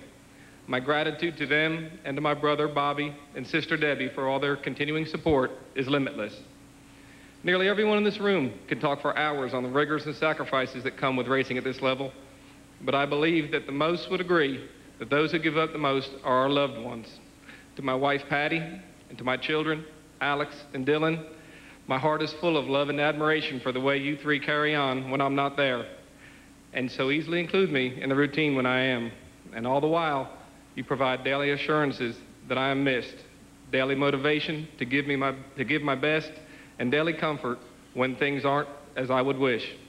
Your faith lifts me, and I am happy you're all here tonight to share this with me. I love you all very, very much. I want to recognize Norm and Tommy Miller with Interstate Batteries, along with their wives, Ann and Scotty. You guys agreed to support this team when we were basically an unknown entity, and it's satisfying to see your commitment rewarded. To the folks at Pontiac, it's as much a pleasure to be part of this team that brings you this championship as it was to be part of the team that 11 years ago brought you your last championship. My thanks also to everyone at RJR and the staff of SME, along with the other series sponsors who faithfully continue to grow our sport. And to Bill France and his family, my appreciation for taking Winston Cup racing to new levels and making decisions that will advance our sport in the years ahead. I want also to acknowledge Mike Helton, Gary Nelson, and all the NASCAR inspectors that I work with on a daily basis. I appreciate all that you do for us. Tonight, I'd be remiss if I didn't recognize some of the many people who taught me and gave me opportunities throughout my, the years. People like Robert Gee, Harry Hyde, Raymond Beadle, Barry Dodson, Rusty Wallace, and Dale Jarrett. It was DJ who first brought me to Joe Gibbs Racing. His significant contributions in the development of this racing team in the early years helped to bring us to where we are tonight. Thanks, DJ. DJ, although you've moved on and we are now competitors, I want you to know, you and your family to know, how much your continued support means to me and how thankful that I am for the opportunity you gave me to come to Joe Gibbs Racing. Joe, from the moment I arrived, you, Pat, and your entire family provided everything necessary to create a championship team. You were a spiritual leader, a motivator, and a gifted man who makes winners out of people. I'm very grateful to have had a small part in realizing one of your dreams. But the greater credit should be given to every member of Joe Gibbs Racing. Each of your unique gifts and talents has contributed to our success and deserve our acknowledgement.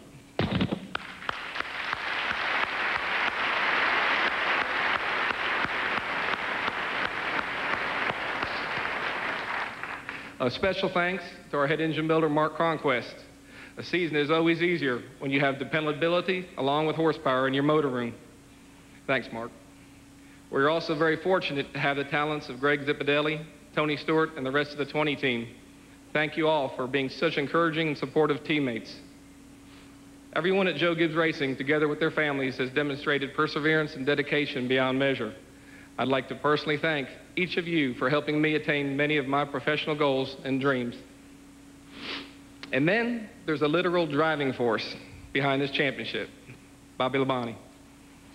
I am thankful for his focus, his determination, and his faith in this race team's abilities. Bobby and I have grown and matured together over the last few years. I've watched him on a professional level develop from competitor to a contender and to a champion.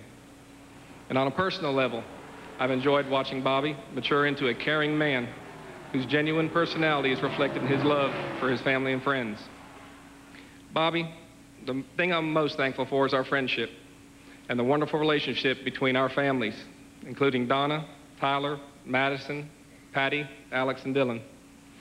But the best thing about our friendship is that no matter what happens in the racing world, I know it'll always be there.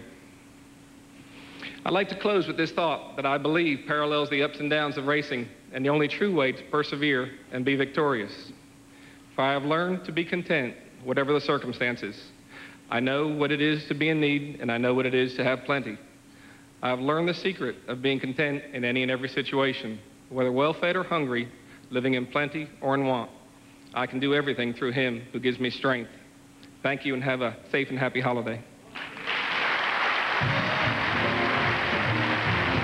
Next, the champion car owner Joe Gibbs as the Winston Cup banquet continues from the Waldorf Astoria.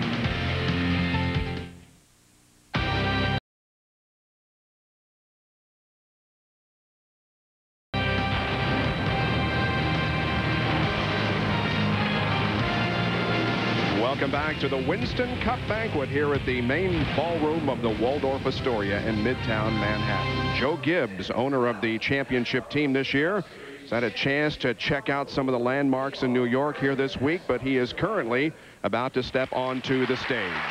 Now back down to the stage, here is the president of NASCAR, Mike Helton.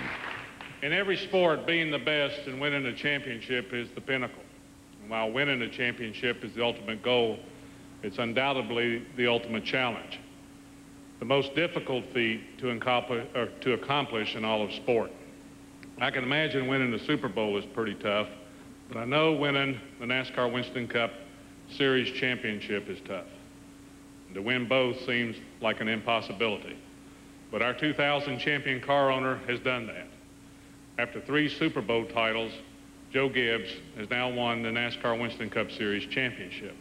And when you add to that a Daytona 500 victory, a Brickyard 400 victory, 27 NASCAR Winston Cup Series race wins, four NFL conference championships, and three NFL Coach of the Year awards, you have no other way to describe Joe Gibbs but as a winner. And coming to NASCAR from the NFL in 1992, Joe had the reputation for turning out championship caliber programs and his ability to deal with the team concept has definitely worked in his favor. So on behalf of all of NASCAR, I'm extremely honored to present the 2000 NASCAR Championship Car Owner Award to the owner of the number 18 Interstate Battery car, Joe Gibbs. Thank you, Mike. Appreciate it. Thank you, Mike. Hey, guys. Thank you, man. There'll be a bonus in there Monday. You can count on it. You know, I've been always uh, kind of amazing to me that um, the way God down through history has chosen just some average people and given them some of the greatest experiences that man can create.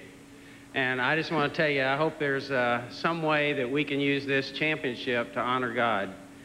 Um, on behalf of the Gibbs family, and that's uh, Pat, Joe, JD, Melissa, Coy, Heather, Jackson, and Miller, those two grandbabies. Mom, I want to say a big thanks to you for uh, me and the boys sticking with us because we drug you through a lot of locker rooms and now a lot of pit roads. the biggest mistake I ever made was uh, I took her to North Wilkesboro and she's still on top of a truck with Kelly, and that was the end of that. She didn't go back.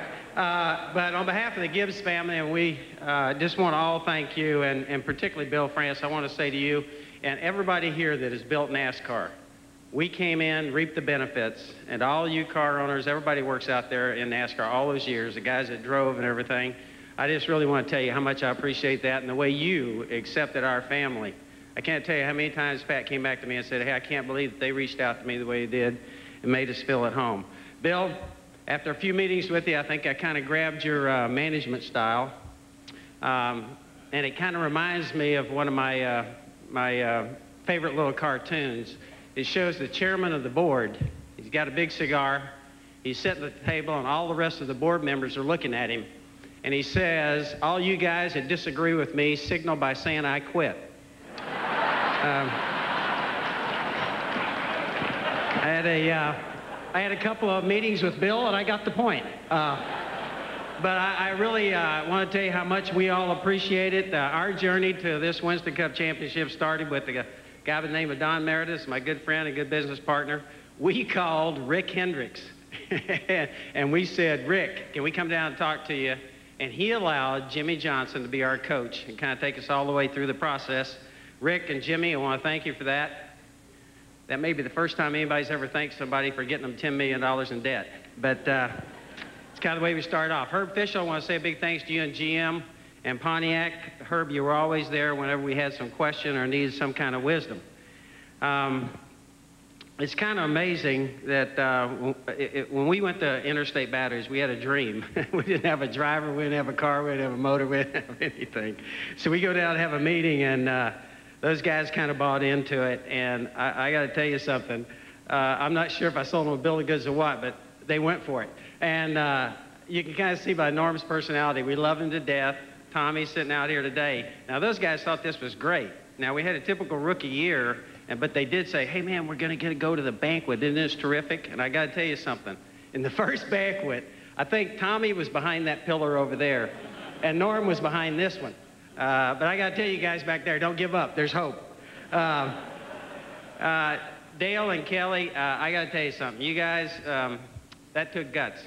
We came over there and met with you guys, and uh, you came over to our house and visited with us. And uh, I, I got to tell you, that took guts and an original decision you made, and I really appreciate it.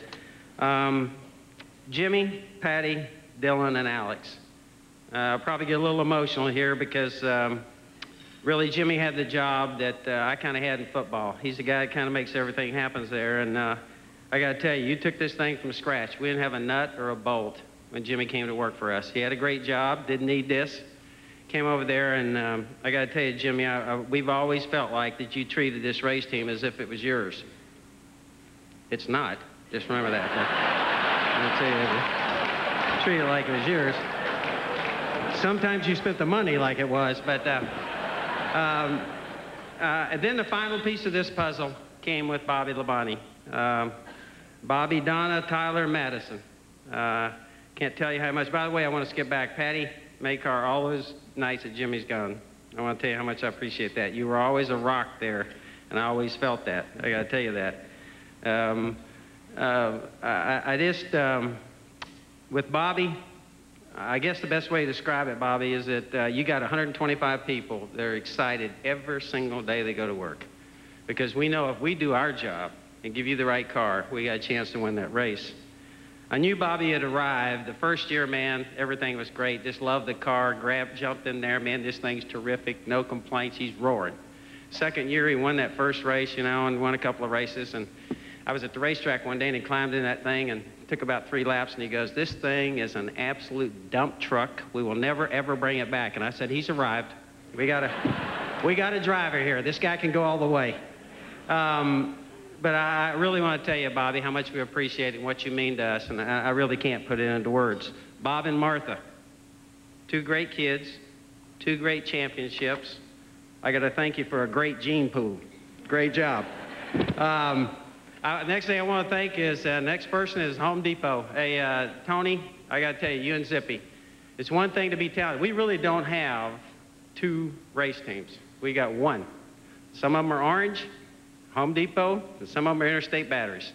I got to tell you, everybody goes to work at our place, and these guys will tell you, I really appreciate Zippy, you, and Tony. You two guys, I got to tell you something. And Bobby will tell you the same thing. I, I, Tony, you're really talented, but I got to tell you, the way you became a partner and a friend to Bobby, and Bobby, the way you became a partner and friend to Tony, and you two guys fed off each other is really terrific. Zippy, you and Jimmy, I, I haven't seen anybody, and Zippy, I think you're building a great race, race team there yourself. Um, so I want to say thanks to Home Depot, Arthur, Bernie, and all you guys uh, for coming on board. That's terrific. Another special uh, mention here to MBNA. They've been terrific from the very beginning, not only supporting the 18 car. Uh, Charlie, Rick, I just really want to thank you guys for all you've done to all with all of our other race cars and all the great support you've given us. Uh, that takes us down to uh, a total team effort. 125 guys, a bunch of them are up there. A bunch of the other ones in the room. We brought everybody New York may never be the same. Um, I wonder if Bucky's passed out yet. Does anybody, anybody know? Um, uh, all of us at the head table, we would really like to say uh, we would like for you guys really to have this opportunity. I would really like to have you come down here and share these spots. Well, maybe the rest of the guys, but my spot, no. I'm having too much fun. Um, I want to close with just um, really saying this, and, and that is uh, going back to Bobby, I want to tell this little story. God bless with our family and Pat and the way we deal with things. I told Pat, I said, hey, we're trying to sell uh, this new driver, and we're trying to sign Bobby Labonte. Now, do not let the press or anybody hear anything about this. And so Pat is walking up to our race shop one day, and she starts in, and Bobby is coming out. And so they kind of see each other, and Pat says he looked at me kind of like he might know me, and I'm kind of looking at him and trying to figure out who this is, you know what I mean? Press guy, who is it? And she goes, Hi. He goes, Hi. She goes, Who are you? And he goes, Bobby. And she goes, Bobby who? she told me that story later on. I said, You probably just killed off a $10 million deal. uh, but I want to tell you something that happened to us. We're building a home. Uh, Bobby went out there, uh, and down when there was home was still being framed, uh, there was a two before down there where we were going to kind of put some of the trophies. And I'm going to give this to Bobby on the way by there as a special thanks to him and Donna. But on that board, that two before, here's what the man wrote. He said, make room for the Winston Cup Championship, RL. And then down below, down here, we put a little inscription from our family, J.D. Coy, all of us. Um, it says, Bobby Who, thanks for taking us with you, the Gibbs family. Thank y'all. The time is almost here. When we come back, the 2000 NASCAR Winston Cup champion season and career in review as our live coverage continues from the Waldorf.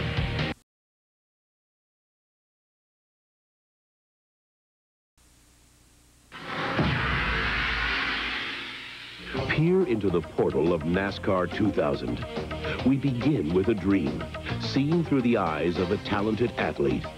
Now focus on a man who deftly outlines the strategy. Watch as a super team is built from the asphalt up.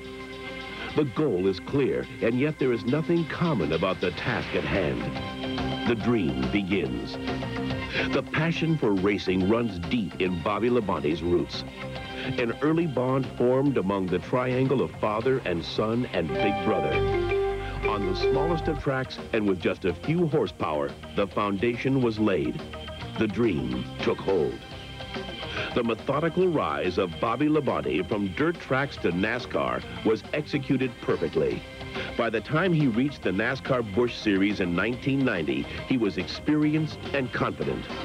All those miles of competition training paid off Within one year, Labonte was crowned as the series champion for 1991. The dream continues. Joining a young and promising group of 1993 NASCAR Winston Cup rookies, Labonte began his assault at the highest level of skill and mastery of a stock car. When the ride of a lifetime opened in 1995, Bobby stepped through the biggest window of opportunity yet. Joined with a Super Bowl winning coach and now paired with a magnificent mechanic, the serious trek to victory began. In NASCAR Winston Cup's longest event at Charlotte, Labonte jumped the hurdle into the win column. As this team quickly gelled, Bobby was busy sweeping both events at Michigan. The dream is real. As the victor in the 1996 season finale at Atlanta, Bobby welcomed his big brother and now two-time NASCAR Winston Cup champion, Terry, to share the spotlight. It was a winning family affair, destined to be repeated. Armed with a runner-up finish in last year's championship, Labonte flipped the switch on 2000 with the complete package, firing on all cylinders. In just the second race, Labonte fired an early warning with a win at Rockingham. He made sure he kept his closest pursuer by his side at Atlanta. Although he was the runner-up, he claimed the top spot in the NASCAR Winston Cup standings. This team ran like a dream. By building top five finishes and running at every checkered, they were now the ones to beat each week. No one could touch Bobby Labonte at the Brickyard as he and his team sealed the victory with a kiss. Their momentum kicked into high gear. Labonte next added an historic accolade with his victory in the Pepsi Southern 500 at Darlington. And in the home stretch, Bobby checked out at Charlotte. Consistency and patience became Labonte's co-pilots. They were the keys that unlocked the dream. Finally, under sunny South Florida skies, Bobby Labonte reached the pinnacle of his NASCAR Winston Cup career at Homestead. The steady course he had climbed for almost two decades is now at the summit. He joins only 23 other men who have shared and lived and realized the dream. And in a fitting entry into the record books go Bobby and Terry Labonte as the first brothers to be crowned NASCAR Winston Cup champions. The dream is alive. With totals of four wins, two poles, a series-leading 19 top five and 24 top 10 finishes, capped off with three Winston Leader bonus wins. Ladies and gentlemen, here is the 2000 NASCAR Winston Cup champion, driver of the Joe Gibbs Interstate Batteries Pontiac, from Corpus Christi, Texas, Bobby Labonte.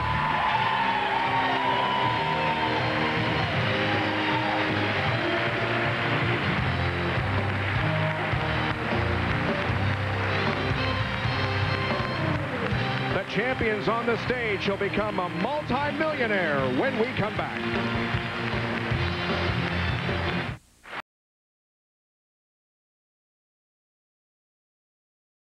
Back here at the NASCAR Winston Cup banquet, we will return to the stage in just a moment. But Benny, before we hear from uh, Bobby Labonte and we get his check presentation, we need to talk about how this is only the 24th champion that the Winston Cup Series has had, a very exclusive club indeed, you being one of them. And that's why it's so special when people introduce me as NASCAR Winston Cup champion, because I realize that there just aren't that many out there, and it is something awfully special.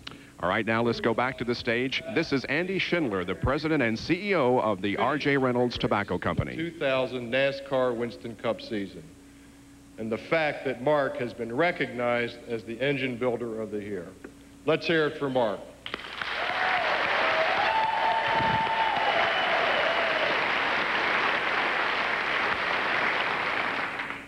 Crew Chief Jimmy Makar is a great manager and coach, dedicated, focused, with a great sense of humor. Jimmy's a great team leader because he's also a great team player. He's adaptable and flexible, but he never wavers from his determination to win. This year, Jimmy's team posted 24 top 10 finishes, including 19 top fives, on the way to four victories that included the Brickyard 400 and the Pepsi Southern 500. Jimmy, congratulations on a terrific year.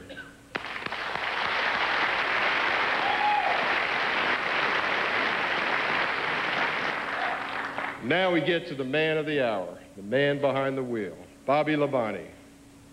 Bobby's been at this a long time.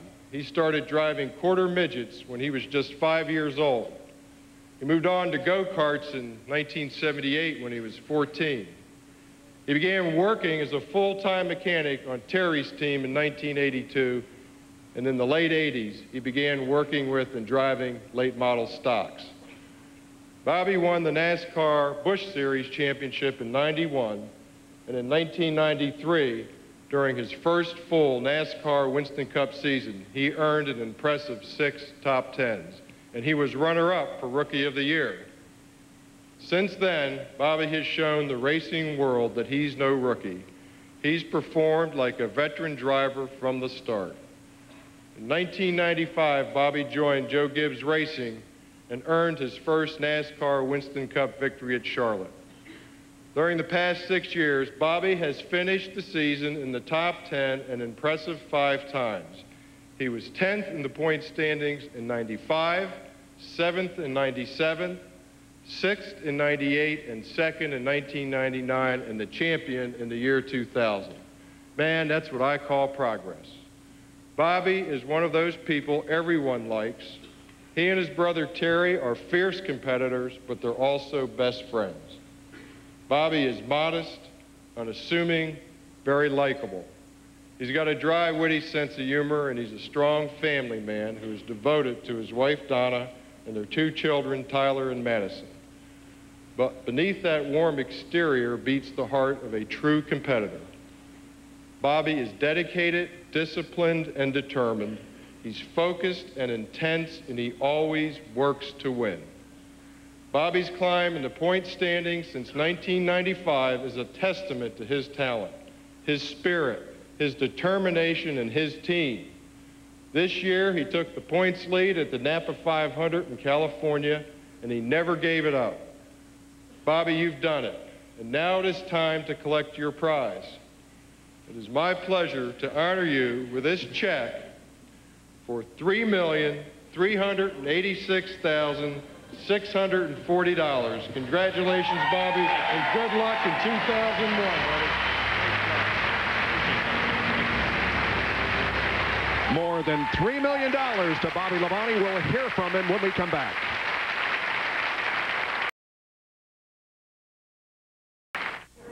The man who is in the spotlight here tonight, Bobby Labonte, the 2000 NASCAR Winston Cup champion, is accepting his honors here tonight. Car from Goodyear because they only made one of those, and uh, I want that one.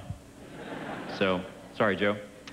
Uh, I do really have to thank Goodyear uh, for that car we talked about earlier up in the suite. It's a great honor. Always wanted one of those. Terry's got one. Now I got one. So Sam said not to race them against each other, but we'll, uh, we, we'll, we'll get them out of the case, but we won't let them touch each other. Uh, Betty Jane, thank you for the ring. Bill, thank you for the ring and the pendant for Don and I. Really do appreciate that. It was uh, very great. Uh, Jeff Burton, bad call. I know where you got the picture from, too. It was out of the States, so it didn't count. We drove it in, so it don't go on the resume either. And I had a lot of help. Gary Nelson was there to help me fix it. Wow.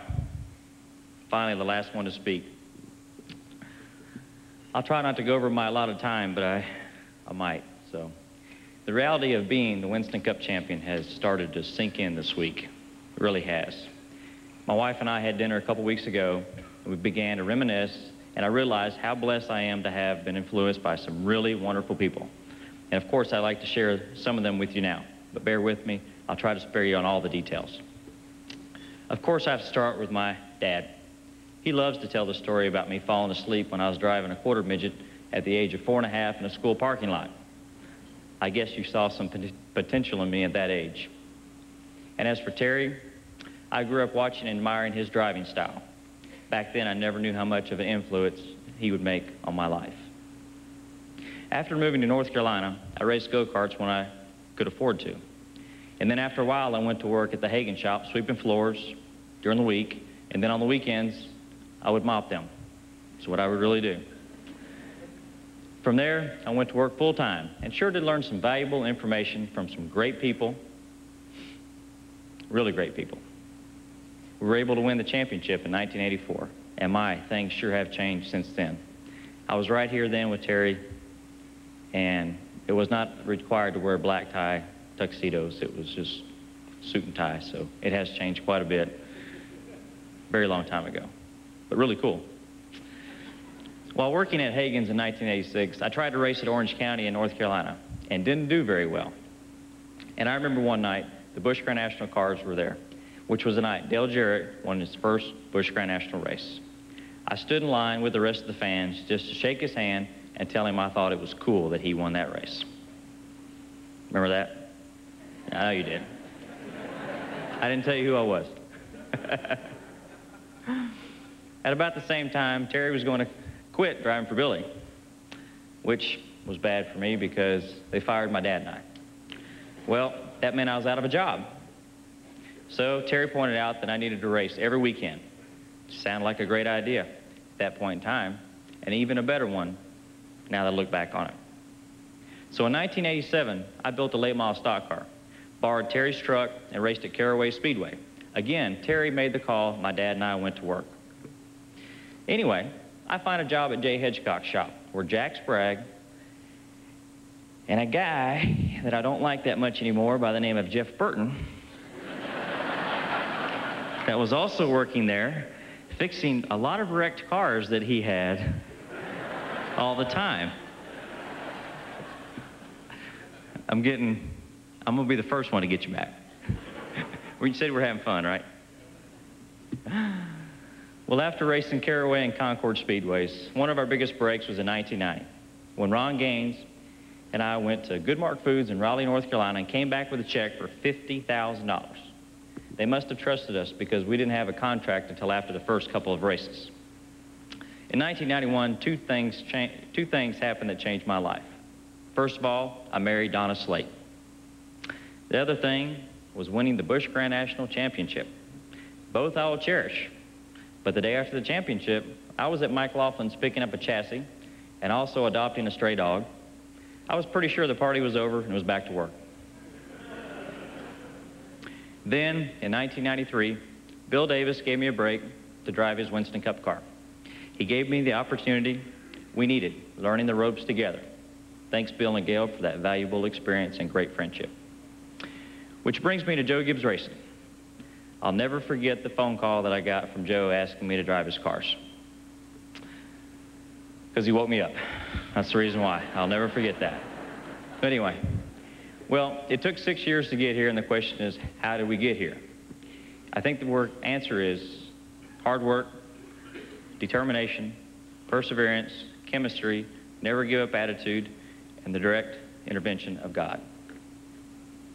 Now to the people that pay bills. We've got a bunch of sponsors. My car looks more cluttered than a voting ballot in Palm Beach. It does.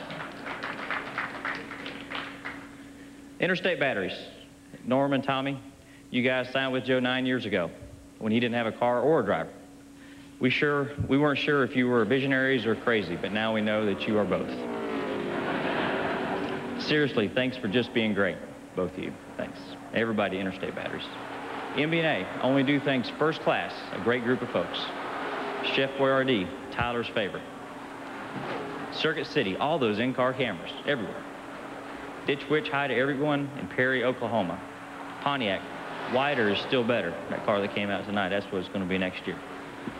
Food Lion, our first associate sponsor. Coke keeps me, me and the guys refreshed and sticky in Victory Lane. Wix, on board since 1993. Daewoo, great equipment. Goodyear, keeping me stuck to the track. Champion, the best spark plugs. Cintas, a great company. Easy Care, always enthusiastic. Always enthusiastic. Uh, Hewlett Packard, computers and software. Gumout and Pennzoil, keeping my engine happy. Mac Tools, the crew guy loves them. Sikkens for the bright interstate green paint. Action, giving the fans the best licensed product. Nike for keeping us running fast. Pfizer for keeping us healthy. Planters, great products and great friends. Hasbro, how about that game? Seen it? And Oakley for hooking up all the guys. Thanks to every one of you. Andy, RJR, and everyone at SME, this week has been tiring, yes, and very special. You guys have been so supportive to everyone in NASCAR. Your continued help over the years have helped our sport grow and succeed. And this check, I mean trophy, I mean check, I mean trophy, I mean, well, you know what I mean. You really know how to make a champion feel real special. You, you can't talk about good people without mentioning Bill and Betty Jane France and everyone at NASCAR. First of all, Bill, it's great to see you back. And thank you for providing us with a great racing series. Brian, Lisa, Jim, thanks for having the vision to continue to grow our sport. Mike Helton, I look forward to your continued leadership, and I know that the ship will run smoothly with Gary, Kevin, and George. I want to thank the 125 or so employees that work at JGR. I'm a very small part of this race team, and these people don't get enough credit for their hard work at the shop and time away from their families. They're all truly special to all of us. And they are in the overflow room somewhere over there making a lot of noise right now, and Bucky is probably passed out.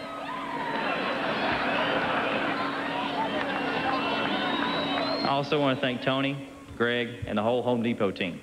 Since you guys have come on board, JGR has become a team that everyone is watching. Oh, and thanks for not running over me this year.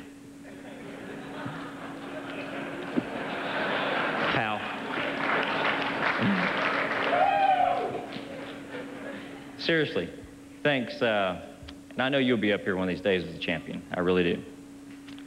Thanks to Mark Cronquist and all the guys in the engine room who built it from scratch over the last four years to the best in the business today.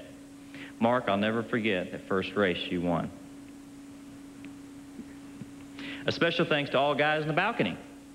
You guys have done a great and consistent job all year long.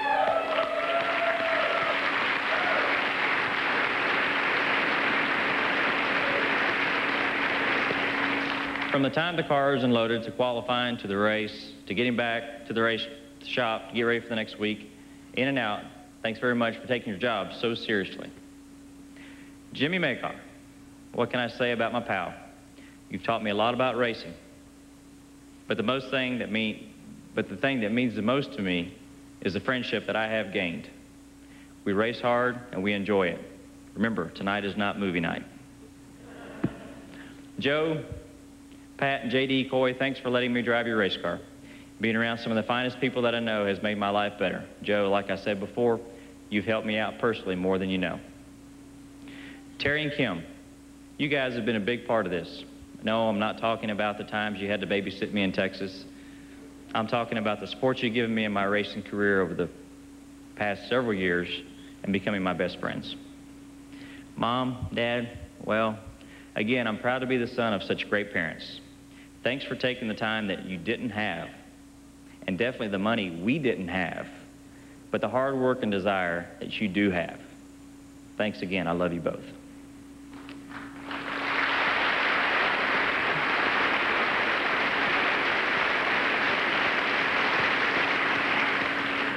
And of course, thanks to my lovely wife, Donna.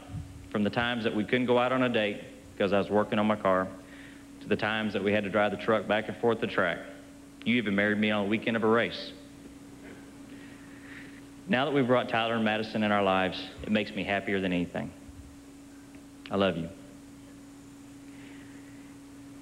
I'm truly honored to be the NASCAR 2000 NASCAR Winston Cup champion. We beat Dale Earnhardt and the whole Richard Childress team definitely the most respected team in business. But you know, I can remember racing at Caraway Speedway in September of 1981 when I was 17 years old. I borrowed a car from Mike Swain, an engine from Billy Hagan. I took it out of the back door. Wonder where I got fired. Hmm. I started 10th and finished 13th and made $65.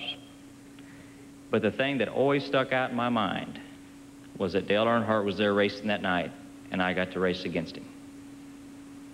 And you won that race, too, as I was spun out on the back straightaway.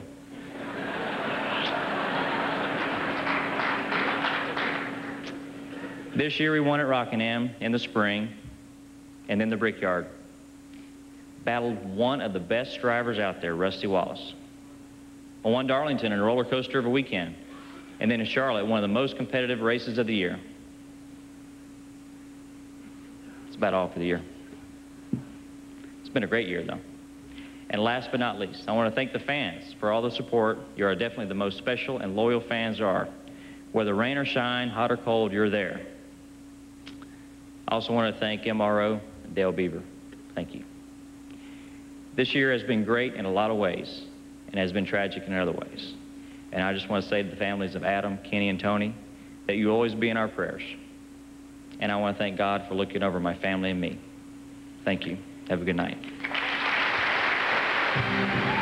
There's lots more to come, including a special music tribute. And don't forget, Sports Center is coming up when we are finished here at the Waldorf Astoria. So we'll be right back with more from Midtown Manhattan.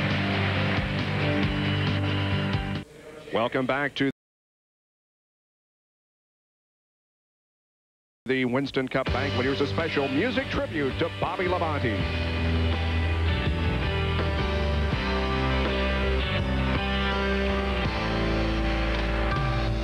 Been a gift he was born with, cause he started racing as a kid.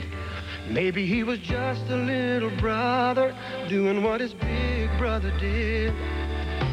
If you'd seen him on the track back then, you might have heard somebody say, There goes Bobby Labonte, he'll be a champ someday.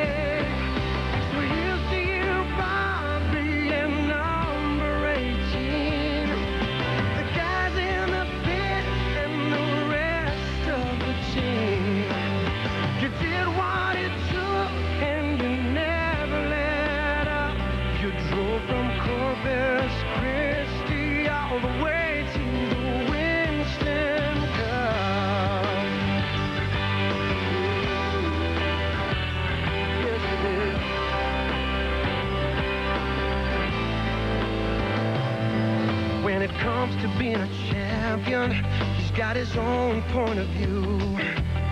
He knows it's not just winning, but being someone you can look up to. When the race has run and the hard work's done, and you finally stop to rest, he knows what really matters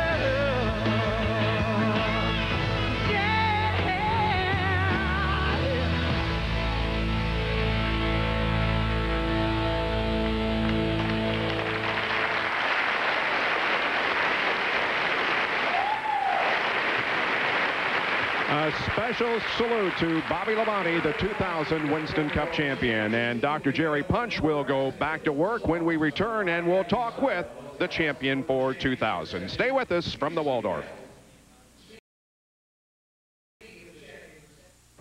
Welcome back to the Grand Ballroom with the Waldorf Astoria New York City. Reminder, Sports Center is coming up next. Meanwhile, let's go down to the stage and visit with our 2000 NASCAR Winston Cup champion, Bobby Labonte.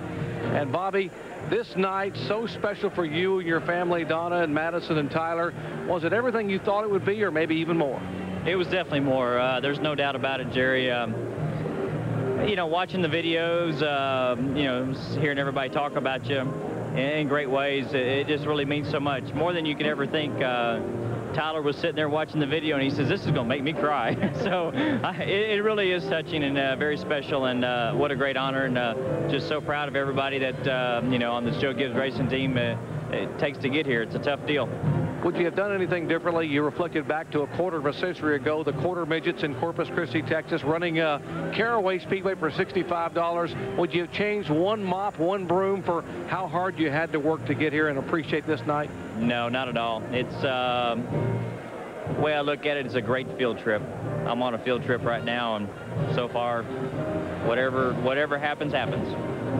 Now, where do you go from here? I mean, now that you've won this thing and you appreciate what you've got and what you've done, and now you now you almost can't, can't imagine not coming back not as a champion. Yeah, I tell you, that's that's going to be the hardest thing in the world. Uh, there's no doubt. Everybody wants to do the same thing. They want to repeat, and uh, you know, so do we. We got to work cut out for us, and we're going to do the best we can. That's all we can do. Well, Bobby Labonte, you epitomize the fact that being a champion is not about being the best on one day, but about one day being the best. After a decade of trying, Bobby Labonte is the 2000 NASCAR Winston Cup champion. We'll be right back.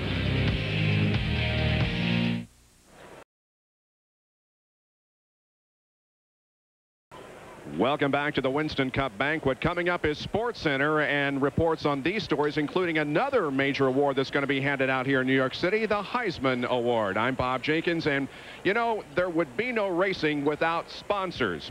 And there are many sponsors in the NASCAR Winston Cup Series.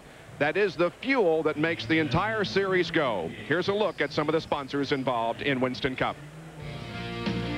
Exide NASCAR Select Batteries, the official batteries of NASCAR, proudly sponsors the Exide All Charged Up Award. This honor and $4,300 is presented to the eligible driver at every NASCAR Winston Cup race who advances the most positions from start to finish during the course of the race. Exide Batteries also awards $50,000 to the driver with the most Exide all charged up points for the season. This year's winner could not be kept at the back of the pack. His most dramatic improvement on starting position was at Texas Motor Speedway, where he moved up from 37th to finish the race in second place. The winner of the 2000 Exide All Charged Up Award was Jeff Burton. Gatorade, the official sports beverage of NASCAR, is proud to sponsor the Gatorade Front Runner Award that rewards excellence for those who lead the race. At each race, Gatorade gives points to anyone who leads a lap and a $10,000 bonus to the driver who leads the most laps. The year-end award and $75,000 goes to the driver with the most Gatorade Front Runner points for the entire season. The winner of the 2000 Gatorade Front Runner Award was Rusty Wallace. A successful NASCAR Winston Cup team is dependent on the skills of their engine builder. As a reward for excellence in the field, the Clevite Engine Builder of the Year distributes $107,000 to the top three engine builders of the series based on points earned at select events the 2000 Clevite Engine Builder of the Year trophy and the $77,000 award went to the man who supplies the horsepower for the number 18 Interstate Batteries Pontiac, Mark Cronquist.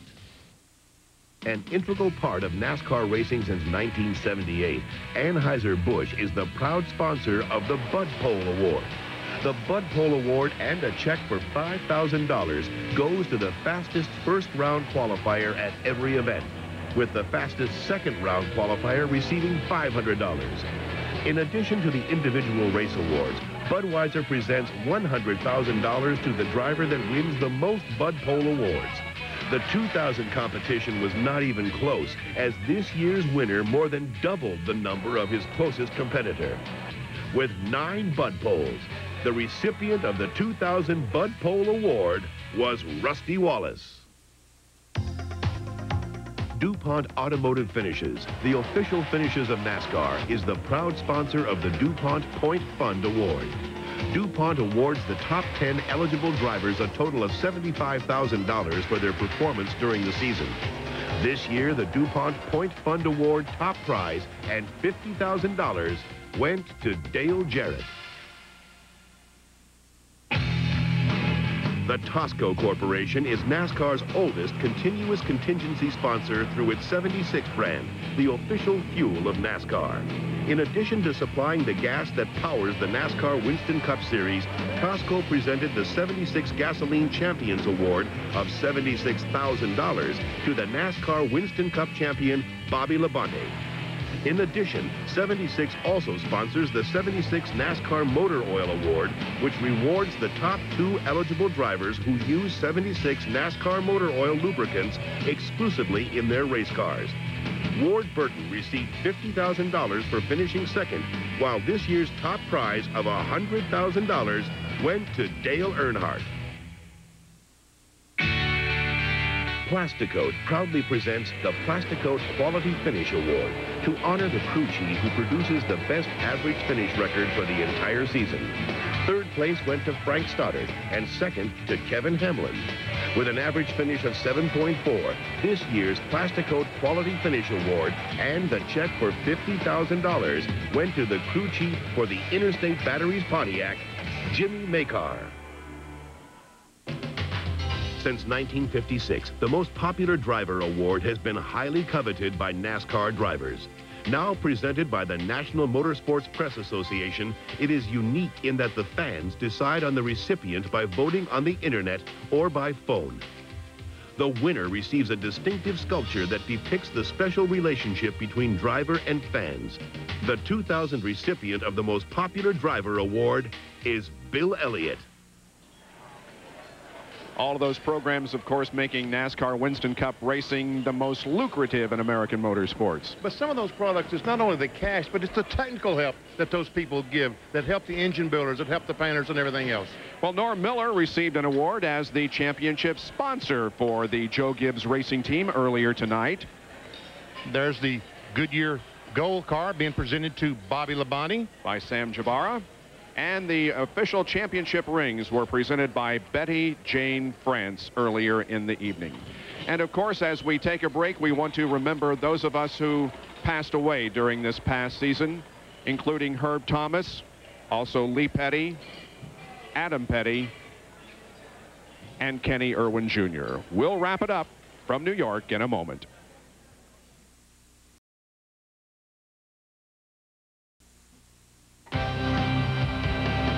The 2000 NASCAR Winston Cup Banquet has been brought to you by Visa. It's everywhere you want to be. And by the NASCAR online store, where you'll find a great selection of official gear from all your favorite drivers.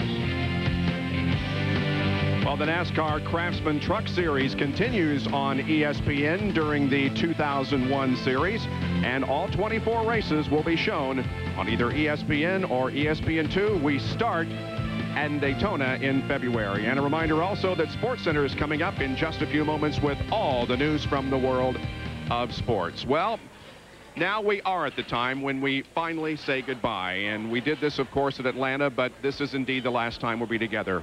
And BP, I got to tell you that you are the best, and I have loved every moment that I have spent with you the last 12 or so years and you told me that you loved me during Atlanta, and I got to tell you that you've been like a brother to me, and I appreciate everything you've done. I'm going to miss you like heck. It is going to be something else, Bob, to try to work a race next year without you beside I mean, it has been fantastic working with you and all these folks behind the cameras, behind these microphones. You guys are the best. Thank you very much. And Bob, good care. luck. Thank you. Thank you. We're going to leave you tonight as we left you at Atlanta with a salute to you, the fans who have made the NASCAR Winston Cup Series on ESPN. Happy holidays from all of us.